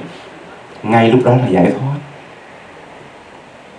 Và lúc nào cũng thấy thấy thấy thấy miên mật cho nó gọi là tỉnh thức, mà tỉnh thức kiểu mà trường trường kỳ tỉnh thức đó gọi là gì? Bút Buddha. Phật là bút, cái chữ tỉnh là bút đó. Và các pháp sân thì cứ sân, bởi vì tập khí từ vô lũy ngàn đời kiếp rồi, nó nó hiện về, ngay lúc đó nó vẫn hiện lên, vẫn có phản ứng. Nhưng mà vẫn nó hiện lên, nhưng mà xin lỗi, nó vẫn hiện diện trong tâm thức mình. Nhưng mà cái người biết tu là thấy thôi, không phản ứng với cái cái sân đó. Không phản ứng với cái nội tâm sân á, tức là cái thái độ của tâm đối với cái sân đang khởi lên, mà chỉ thấy mình phản ứng là mình muốn chằng nó xuống, đè nó xuống, hay là bỏ. Là cái đó là một dạng phản ứng. Nhưng mà kỳ thực mới à thân à khởi lên, thấy ngay cái thấy đó là tách mình khỏi cái cái cảm thọ sân đó. Tức là không đồng hóa. Mà không đồng hóa thì không tạo nghiệp. Mà không tạo nghiệp thì không đi trong sinh tử luân luân hồi cái rút nó là như vậy. Nó đạo phật mình là một cái thế liên hoàn liên hoàn. Mà nó, cái gốc nó từ cái thập tâm. Tức là sân. À sân. Không có bỏ sân. Bây giờ thầy đưa ra một cái ví dụ. Có một người tới hỏi, thưa với thiền sư bàn khuê, tức là thiền sư ban kê đó hỏi như thế này. Thưa thiền sư tánh của con nóng lắm mà con nóng như lửa bây giờ ngài có cách gì thì ngài chỉ cho con bỏ được cái tánh nóng này không? À, thì thiền sư bạn bạn khuê mới nói sao? Ông đem cái tánh nóng đó ra, ra ông chỉ cho tôi cái tánh nóng đó ra cho tôi thấy. Thì ông này mới ngồi lại mới nhìn đó à, dạ thưa ngài bây giờ nó không con tìm không thấy. Thì ngài bạn khuê mới nói sao? Nếu mà thật sự cái tánh nóng đó là ông đó, thì lúc nào ông cũng có thể đem ra được hết. Nhưng mà nó khi có khi khi không. Vì sao nó khi có khi không? Là khi nó gặp duyên, tức là ai tác động gì đó, ai chửi gì đó, thì nó ở trong này nó ùng ùng gửi lên. Nhưng mà bình thường có thấy không à bây giờ có ai nóng không? Có ai tự nhiên sơn không? Có ai vô duyên sơn không? Không. Nó có một cái duyên gì đó mới sơn. Như vậy thì nó do duyên tác động thì nó mới sinh thì nó có thật không? Oh, nó do một cái duyên gì đó. Thì mình chỉ nhìn thấy như vậy. Bây giờ quý vị nên nhận định là cái tánh nói về tánh là có cái gì cố định. Mà cái này nó không phải là tánh. Nói là cái tánh tôi sân là sai đó. Nhưng mà nói tập khí hay là nói là tôi có cái tâm cái tâm sân thì được mà cái tánh là thì không đúng. Cái tánh nó trở thành cái bản chất rồi mà ai, không có ai có bản chất. Nếu mà quả thật tham sân si là bản chất, tu không thành. Quý vị công nhận không? Tam tham sân si là bản chất của chúng ta rồi. Đố mà tu đố mà ai tu thành, mà chính nó không phải là bản chất. Cho nên mình hy vọng là mình có tu, có thấy được, nương vào cái thấy, càng thấy càng mạnh như thế. Càng thấy rõ, càng mạnh, nó tạo cho mình gọi là tỉnh lực. Cái lực của cái thấy. Niệm lực và tỉnh lực mà tư tưởng của sư ông làng mai là sao ạ? Không phải là giới định tuệ. Ngài không nói rõ giới định tuệ mà niệm định tuệ. Có niệm lực, mà niệm lực đó là cũng không ngoài cái thấy. Không biết đau cái thấy, không có cái thấy thì không có cái niệm. Đó. Cho nên thì mình thấy nó cô kết với nhau và bây giờ chỉ cần là nhận diện rằng rằng khi sân thở ngởi lên, khởi lên, nhìn vào tâm, nói à không phải là mình. Nhận mà và không đồng hóa như thế là thoát ly cái sân thôi và không cần phải buông xuống. Còn mình dằn mình buông xuống là tạo trong lòng mình cái xung lực. Nó nó còn muốn sân mà mình bắt nó bỏ sân thì không được. Cho nên nó quý vị biết, có những người họ không phải sân mà biến theo, biến dạng mà dằn ép á, dằn ép, nó đừng có sân á, dằn không được, nó biến sang cái gọi là hận. Tại vì không có tiêu hủy được, không có giải không release được, nó biến theo cái hận. Mà cái hận là không phải là lửa rơm, mà nó gọi là gì? Lửa than lửa than nó tiềm tàng tiềm tàng. Và nó nó nó có duyên nó lại bộc phát. Nó có gặp duyên là nó bộc phát. Gặp duyên là bộc phát. Còn cái thấy đó mình huân cái thấy đó mãi đó nó chấm dứt được cái triệt để luôn ngay cái gốc luôn. Là chỉ có đơn giản là không nhận mình nữa thôi. Công nhận cơn sân đó là mình cơn tham đó là mình cơn muốn đó là mình nữa. Đó thì, thì mình thoát ly được. Thì bây giờ thầy đi qua một à, một cái mảng nữa đó là mindful và mindfulness, ha. Quý vị nghe mệt chưa? Nào mindful thầy cũng có có nói vừa rồi ở lúc tới. Mindful, chữ mai ha, chữ mind và chữ full mà biết rời ra là gì một cái đầu rất là đầy. Một cái đầu rất là đầy. Nhưng mà chữ mai mai và chữ full mà biết gần nhau là một cái tâm rất là trong sáng, một cái nhận thức rất là rõ ràng. Bây giờ này khi mà cái đầu của thầy bây giờ trong này nó buồn nó lo nó phiền não nó bất an ấy, thì là một cái đầu đầy như thế. Thầy nhìn thầy không có thấy cái hoa bởi vì thầy bận với cái tư tưởng ở trong trong đầu. Nhưng mà khi mà cái tâm thầy rỗng đó sáng đó thì nhìn cái hoa trọn vẹn nhận diện đây là hoa hồng vàng đây là hoa cúc vàng nhận diện rất rõ. Cái này gọi là cái thấy của mai mai phu thấy và dừng lại thôi mà cái người mà phàm phu vừa thấy à nhận diện được hoa cúc vàng, hoa hồng vàng này rồi đó, thích khởi lên, rồi mới nói à thôi cho tôi tôi bưng về nhà. Cái đó là nó đi vào cái thức tri, đúng không? Còn cái nhận diện như à đây là hoa hồng vàng, đây là hoa cúc vàng. Rõ ràng dừng lại trên cái thấy đó. Và không phải cái đây là cái chậu hoa mà nhìn nhìn tất cả mọi người đều như vậy. Nhìn mọi người, mọi vật chung quanh đều nhìn với cái nhìn đó. Đó chính là cái nhìn mindful mindfulness còn cái mai mai mà phun đầy rồi á, là mai cái phun đó là tư tưởng đầy không? Đầy trong đầu. Là tư tưởng mà tư tưởng nó không ngoài là tham sân si, phiền não, bất an. Đó. Và bây giờ mình muốn đơn giản hóa, mình đã quen sống với tư tưởng rồi. Mình đã chấp nhận cái vọng tâm, cái tư tưởng đó là mình, rồi bây giờ mình thoát ra không nổi nữa. Cho nên một triết gia, thầy nhớ một, có một vị triết gia mới nói này, I think therefore I am à, ông ông này là ông đề cát triết gia đề cát tôi suy nghĩ tức là tôi hiện hữu. I think therefore I am. Cuộc đời á, họ nhận rằng họ có cái suy nghĩ chính cái suy nghĩ cho họ cái cảm giác là họ đang tồn tại. Nhưng mà thiền là vắng lặng hết tất cả. Mọi suy tư mà chỉ có tánh thấy.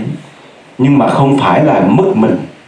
À vắng hết tất cả vọng tưởng mà vẫn rõ ràng thấy biết thì mình có mất không? Không mất đúng không? Nhưng mà cuộc đời là bất cứ ai cũng phải suy nghĩ hết trơn. Mà mình nói như vừa rồi, rồi thầy nói đùa đó. Mình nói mấy bà điên mà ngồi ngoài góc đường mà ngồi nói nhảm đó là nói là người ta điên. Nhưng mà kỳ thực mình nhìn kỹ lại mình trong đầu mình cũng vậy. Mình là mấy bà điên mà không nói ra bằng miệng thôi. Mình mình mình, mình cái sống đó rồi mình đồng hóa với nó mình cứ đọc đọc trong đầu hoài. Mà cái này gọi là thầy phước tịnh thầy hay nói là tiếng thì thầm cái giọng nói thì thầm, và mình đồng hóa cái giọng nói đó với là mình. Rồi mình khổ đau, vui buồn với cái nó, với cái giọng nói đó. Đó, và bây giờ cái yếu chỉ của thiền là chỉ có thấy thôi. Mà thấy cái giọng nói đó là thấy gì? Quán gì? Quán tầm đúng không? Là cũng là sống hiện tại với là thân thọ tâm pháp đang đang là đâu có thoát ra khỏi cái tư tưởng của ngài vừa rồi nói đâu? Rất là phải nói quý vị nắm được yếu chỉ quý vị thấy không có bờ bến không có ngăn cách. Cái nhưng mà thầy thấy hôm đó nói là có lẽ là sư nói quá sụp tích. À, quý vị ngay cả nhức chân thì nhìn kỹ lắm. Thầy cũng nhìn hơi mơ. Hơi mơ. Đó phải giờ. Nhưng mà nói những cái pháp này phải có thời gian và đưa rất nhiều ví dụ ví dụ rất cụ thể, minh họa, nói ra một cái ý gì hơi trừu tượng cái là phải đưa ra cái ví dụ liền để cho ta nắm. Nó minh họa cái ý. Còn ngài nói mà cô động bằng cái ngôn từ không, thì là nó rất là hay đối với những người đã có cái hiểu. Mà thiếu ví dụ thì quý vị không không hiểu. Mà không hiểu thì không áp dụng vào thực tế tu được. Mà nói pháp mục đích của quý thầy nói pháp nói ra rã như vậy đó nó chỉ nhằm mục đích chân thành nhất là quý vị thẩm thấu được quý vị sống với nó sống với pháp và đem vào đời sống của mình đó, gọi là khi mà sống nhiều với pháp trở thành là sống sống thiền. Còn mà nói với cái, cái gọi là nói mà cái người mà nói mà về về khoa trương kiến thức về nói để mà chia sẻ về kiến thức thôi á thì cái này là uổng lắm. Bởi vì kiến thức là cái gì đó rồi nó rất là phù du nó không tồn động lại trong lòng quý vị, mà quý vị nhớ lại cái pháp hành quý vị tu, chính là quý vị đã sống với pháp. Bởi vì hôm trước thầy có cái đề tài là là nghe pháp bằng tâm nghe là nghe bằng tâm để thẩm thấu, rồi về mình tu rồi mình mới đỡ khổ. Chứ còn thiệt ra, Phật chư Bồ Tát, chư Phật chư Bồ Tát, quý thầy cũng thương thương bà con lắm. Nhưng mà thoát khổ hay không, quý thầy không có giúp được quý vị thoát khổ. Mà đưa cho cái pháp cho quý vị tu giống như một cái thuốc đó rồi quý vị uống vào rồi uống vào cái thuốc đó là nó lành bệnh là thoát cái khổ thôi. Chứ còn nói ờ, chạy đến chùa cứ than thầy ơi con khổ quá khổ chuyện này chuyện kia. Nhưng mà đó thì cũng nói con nghe pháp đi rồi ứng dụng tu đi. Cái cách là như vậy thôi chứ không còn cách khác nữa. Làm sao lôi người ta được? Lôi người ta ra khỏi cái vùng khổ đau đó được bởi vì nó đã trở thành trong họ rồi bây giờ mình hồi xưa giờ bây giờ là nó là trở thành trong họ trong trong cái chất của mình rồi. Thì bây giờ ấy chuyển hóa ngay lập, lập tức không có được. Bởi vì vừa, vừa rồi thầy nói đó có một cái tư tưởng gọi là tâm bình thường là đạo như vậy đó. Cái tâm bình thường á nó giống như một cái chai nước lọc mà nước trong trong vắt như vậy này. Là cái đó là tâm bình bình thường. Nhưng mà cái tâm không bình thường là giống như cua ca xá xị nước mà có màu màu đỏ màu xanh màu vàng gì đó thì nó ví ví dụ như cái tâm cái chai mà xá xị hay là chai à, coca gì đó là nó có màu đó nâu nâu đen đen đó. Thì mình ví dụ thôi ví dụ nó là cái tâm đã nhuốm phải than rồi. Rồi một cái tâm cái chai nước gì màu đỏ rực lên nhuốm phải sơn rồi. Thì cái đó nước đó có phải loại nước bình thường không ạ? Nước đó không phải nước bình thường. Nhưng mà tịnh thủy nước trong đó, chính là nước bình thường thì khi mà quý thầy nói pháp là lôi trở về quý vị, phải về uống cái nguồn nước trong này, lặng dòng tâm trong, uống cái gì nước trong. Hay là quý vị phải tự tịnh kỳ kỳ ý để trở lại cái thể cái thể trong sạch đó. Bởi quý vị quý vị quý vị đã lỡ bỏ nước màu vào trong cái chai nước của quý vị rồi. Bỏ nước màu là gì? Bỏ tham, bỏ sân, bỏ si vào trong cái chai nước rồi. Thì bây giờ quý vị, thầy đến với thầy, đến với chư Phật, chư Bồ Tát đưa cho cái pháp đó để lọc để lấy lại cái nước trong, sống với cái nước trong này, uống với cái nước trong này. Thì cái đó chính là gọi là tâm bình thường là là đạo. Có cái màu vô là không bình thường rồi. Nước bình thường là là nước tịnh thủy. Còn nước có màu vô là không phải là nước bình bình thường. Đó. Thì bây giờ trở lại bình thường là hạnh phúc. Và sống với cái bình thường đó chính là sống đạo. Sống với cái bình thường đó chính là sống sống thiền.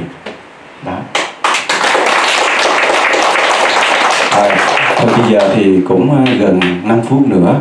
Thì trước khi dứt lời thầy cũng tặng cho đại chúng một bài thơ, một món quà ngày hôm nay. Đó có tựa là vô ưu. À. cứ đơn giản những vấn đề phức tạp. Cuộc sống này thư thái nhẹ nhàng hơn.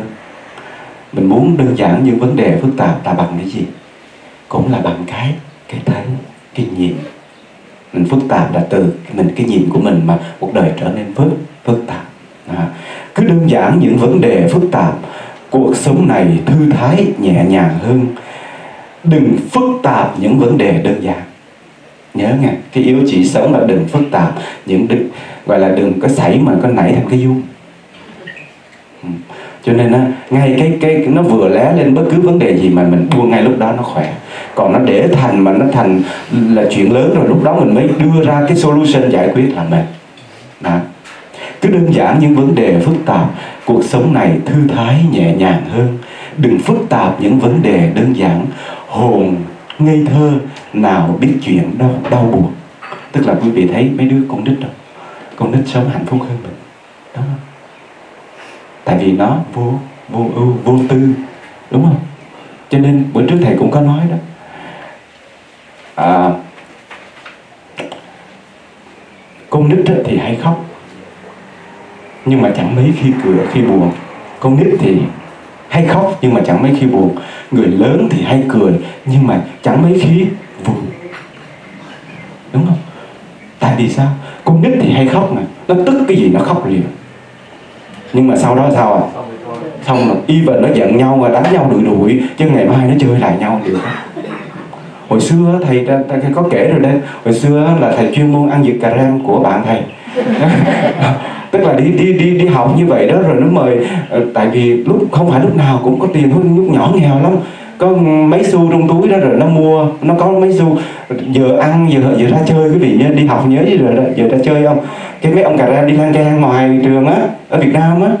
Ờ, cái thế là mua cây cà ram cái nói, tao bữa đây tao có tiền mà cho tao cắn chứ thế là thầy, nó đưa thì cắn rồi thầy cầm cơ hội thì cắn cái, muốn hết cái cà ram của nó luôn. Cái đó ảnh đứng rồi ảnh khóc đồng, nó trời ơi mày cắn bự nha mày cắn bự nha tại sao mày không có sinh được nha cái ngày mai thì cũng đâu có tiền đâu thì tới thì xin nữa, nó cho thầy cắn tiếp. đó nhưng mà ngày hôm qua là nó khóc. Nhưng mà hôm nay nó cho nó mình cắn tiếp. Đó là là con nít là vậy. Nhưng mà bây giờ mình với nhau sao mình lớn rồi sao à à, ai mà cắn nhau một tiếng hay là cắn à, cắn là hơi quá mình nói mình tiếng đau nó vô chùa nói tiếng đau. Là ngày mai đi chùa tôi muốn đi chùa đã nữa gặp cái bà đó tôi muốn ưa nữa thôi tôi đi chỗ khác. Đó vậy đó. Tại vì nó có nội kết rồi. Cho nên rằng người nói người lớn hay cười mà chẳng mấy khi vui mà không có xả được không có xả được và cái gốc không xả được là tại vì cái gốc cũng không sống được với cái tánh tánh thầy đó vậy thôi. Mưa rồi nắng nắng mưa rồi vẫn vậy. Tại lòng mình sống dậy mới đau đau thương. Nhìn vạn sự cuốn theo dòng trôi chảy. Kìa vô ưu vẫn đẹp giữa vô thường. Hết rồi. À, xin cảm ơn đại chúng đã chú ý lắng nghe cái thời pháp sáng nay thật sự là cái thời pháp sáng nay thầy rất là nhiều cái tâm tư bởi vì hơi lo. Thật sự thầy bị hơi hơi bị căng như cái thời pháp này. Là tại vì nói về cái tánh thấy này thầy vận dụng nhiều ví dụ để cho nó sáng tỏ. Chứ còn mà lúc đầu á uh, thầy định giảng là đề tài là niệm phật liên thông các pháp. Đó thì là có thể là kỳ tới thầy giảng để cho những hành giả mà tu tịnh độ tông thì sẽ nghe ha thì thầy cái quan điểm của thầy cái chủ trương của thầy là thiền tịnh song tu. Mà chân thành như vậy luôn. Tới bây giờ cũng vậy thiền tịnh song tu. Và khi mà chọn thiền tịnh song tu thì phải có một cái chánh một cái phụ một cái chánh hạnh và một cái trợ hạnh một cái chánh tu và cái trợ tu. Và cái nào tránh cái uh, uh, cái nào tránh cái nào phụ đó là cái chuyện của thầy. Đó nhưng mà đều thầy sẽ chia sẻ để chi quý vị biết quý vị tu. Quan trọng không phải là pháp mà quan trọng là sự hành. Thì có cái câu như thế này mới viết tối hôm qua thôi. Pháp người hay mà pháp dở. Nha người hay mà pháp dở thì pháp đó thành hay. À, người dở mà pháp hay thì pháp đó thành dở. Người hay là sao? Người tu hay. Cái pháp đó dở nhưng mà thiệt ra mình nói dở hay là chuyện tương đối. Cái pháp là nó như không có gì tương không có hay dở nhưng mà người hay mà pháp dở thì tạm nói thôi. Đó, người hay, tức là người tu hay, mà cái pháp đó người ta cho là pháp thấp, nhưng mà mình tu tinh tấn, nó là trở thành cái hay. Đó. Mà người dở, tức là tu, practice dở, cái cái thấy không có cái thấy nhưng mà cái pháp về cái tánh thấy này rất hay, mà mình không vận dụng, không sống được cái pháp với cái thấy đó thì người dở mà pháp rất hay. Mình đồng hóa cái bản ngã mình với cái pháp thôi. Chứ thiệt ra cái thực chất của mình vẫn là dở ẹt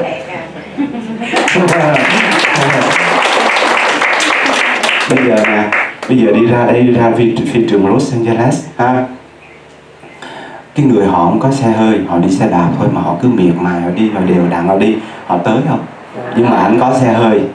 Anh có xe hơi ha nhưng mà anh ngồi đó nói tôi có chiếc xe hơi ngon lành lắm nhưng mà từ đây ra ra trường phi trường không ra. Cứ ngồi tôi nói tôi có chiếc xe hơi ngon thôi. Nói cái cái miệng thôi tức là tôi có cái pháp ngon nhưng mà không lái ra phi trường.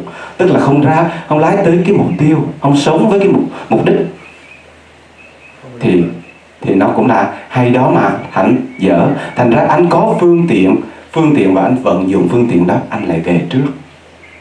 Đó cho nên chính vì thế mà thầy quan điểm là thiền tịnh song tu là vậy đó. Những vị nào không vận dụng được cái tánh thấy thì bây giờ cứ tu đi. Tu tánh thấy đó thì không cần phải về cực lạc. Thật sự như vậy. Còn tu mà tu phải tu vãng sanh thì phải về. Phải về đó rồi tu tiếp để thành. Thì bây giờ mình lượng sức mình thôi.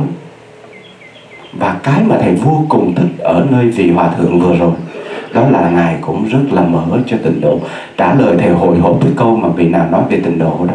Mà ngài trả lời đó thầy nói, ô, thở vào nhẹ nhõm. Là tại vì ngài rất là dung hòa, thường thường những vị nguyên thủy họ không chấp nhận tịnh độ. Mà ngài, thầy nghe ngài một vài nơi ngài cũng cũng nói về tinh thần đó. Đó, ngài cũng nói có như là niệm đức phật a di đà là niệm lại tánh giác và bản giác của của mình đó là cái cốt lõi của tịnh độ đó, quý vị. Cái cứu cánh của tịnh độ khi về tới tịnh độ là, gọi là cái cứu cánh trong bốn cái cái cái cảnh giới tịnh độ. Có một cái cảnh giới cuối là gọi là thường tịch quan tịnh độ. Mà thường tịch quan tịnh độ đó chỉ là một lối nói, mà chính đó là thể tánh niết bàn đó. Thường tịch thường tịch. Ha thường tịch là lặng lẽ, mà quan là chiếu soi. Lặng lẽ chiếu soi là gì? Thể tánh tánh thấy thấy mà rộn ràng là là là rơi vào phàm phu. Đúng không? Không còn lặng lẽ nữa. Mà lặng lẽ mà vẫn thấy. Đó là tịnh độ, là thường tịch quan tịnh độ. Và thường tịch quan tịnh độ đó với niết bàn, có có nối nhau bằng cái gì? Bằng cái bằng đó, cái dấu bằng đó.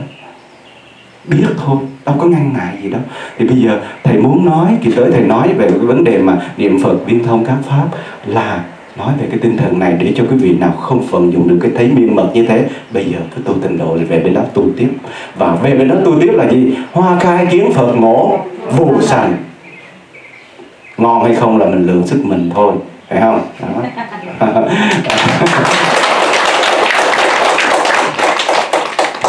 thì bây giờ quý vị nghĩ thì trước khi mình chấm dứt cái cái buổi pháp hội này thì, thì chia sẻ một chút là buổi chiều nay là mình có cái chương trình như đã định đó là à, gọi là có buổi thiền biển tức là thiền hải triều âm. Đó tức là ra ngoài biển à, trước khi mặt trời xuống mình sẽ ngồi meditation nghiêm chỉnh. Thầy muốn uh, thể nghiệm cái thiền này lần đầu tiên ở đây mà nếu mà nào quý vị thà cảm thấy an lạc thì mình sẽ ừ, theo đó mình nhân rộng nhân rộng ra tức là ra ngoài biển ngồi cũng mang áo tràng ra ngồi khoảng nửa tiếng 40 phút thôi. Ngồi thật là relax để tiếp xúc với thiên nhiên và việc buông xả. Đó ờ, thư giãn hoàn toàn rồi sau đó mình là sống thiền. Đó. nhưng mà chiều nay thầy nghe nói là có hòa thượng giác hạnh về giảng thì có một vài, vài người đi. Nhưng mà thầy thấy cũng có được một cái là kỳ tới sư cô nói là ngài sẽ về đây giảng hai ngày. Thì trước sau mình cũng có ngày rồi thì bây giờ thầy cò chiều nay đi với thầy đi. Dạ, dạ. Thôi bây giờ mình hồi hướng hả? Dạ. Nguyện đem công đức này, hướng về khắp tất cả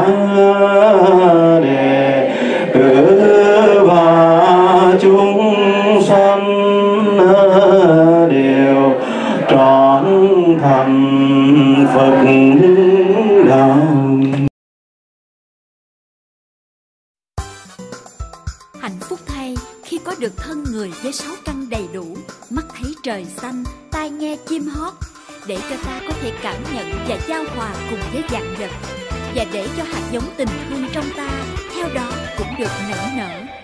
bởi vì mắt ngó trời xanh nên chi mắt cũng long lanh màu trời. Bởi vì mắt ngó biển khơi nên chi mắt cũng xa vời đại dương. Bởi vì tình thương, nên chi mắt cũng vân vương lệ sầu. Bởi vì mắt ngó biển dâu nên chi mắt cũng đưa màu từ bi. Đôi mắt nhìn cả bầu trời, nhìn sông nước chảy, nhìn đời lặng trôi. Đôi mắt nhìn cả biển khơi, nên chỉ đôi mắt mong đời thăm tươi. Bởi vì mắt thấy đường đi nên chỉ mắt cũng xa gì khen chê. Bởi vì mắt thấy nhiều khê nên chỉ mắt ước sang người nội tâm. Tuy nhiên, nếu chỉ nhìn ra bên ngoài mà không khéo thì cũng rất dễ bị sắc trần lôi cuốn. Do vậy cần phải có chánh kiến để cái thấy của ta không làm cho tâm ta trở nên loạn động trước những đổi thay vô bể của cuộc đời. Và cần nhất là phải biết nhìn lại chính mình để cho mắt ước sáng ngời nội tâm. bởi vì mắt ngó trời xanh, nên chi mắt cũng long lanh màu trời bởi vì mắt ngó biển khơi, nên chi mắt cũng xa vời đại dương bởi vì mắt có tình thương, nên chi mắt cũng vân vương lệ sầu. Bởi vì mắt ngó biển dâu nên chi mắt cũng đưa màu từ bi. Đôi mắt nhìn cả bầu trời, nhìn sông nước chảy, nhìn đời lặng trôi. Đôi mắt nhìn cả biển khơi nên chỉ đôi mắt mong đời thăm tươi. Bởi vì mắt thấy đường đi, nên chỉ mắt cũng xa gì khen chê. Bởi vì mắt thấy nhiều khê nên chỉ mắt ước sang người nội tâm. Bởi vì mắt thấy nhiều khê nên chỉ mắt ước sáng người nội tâm.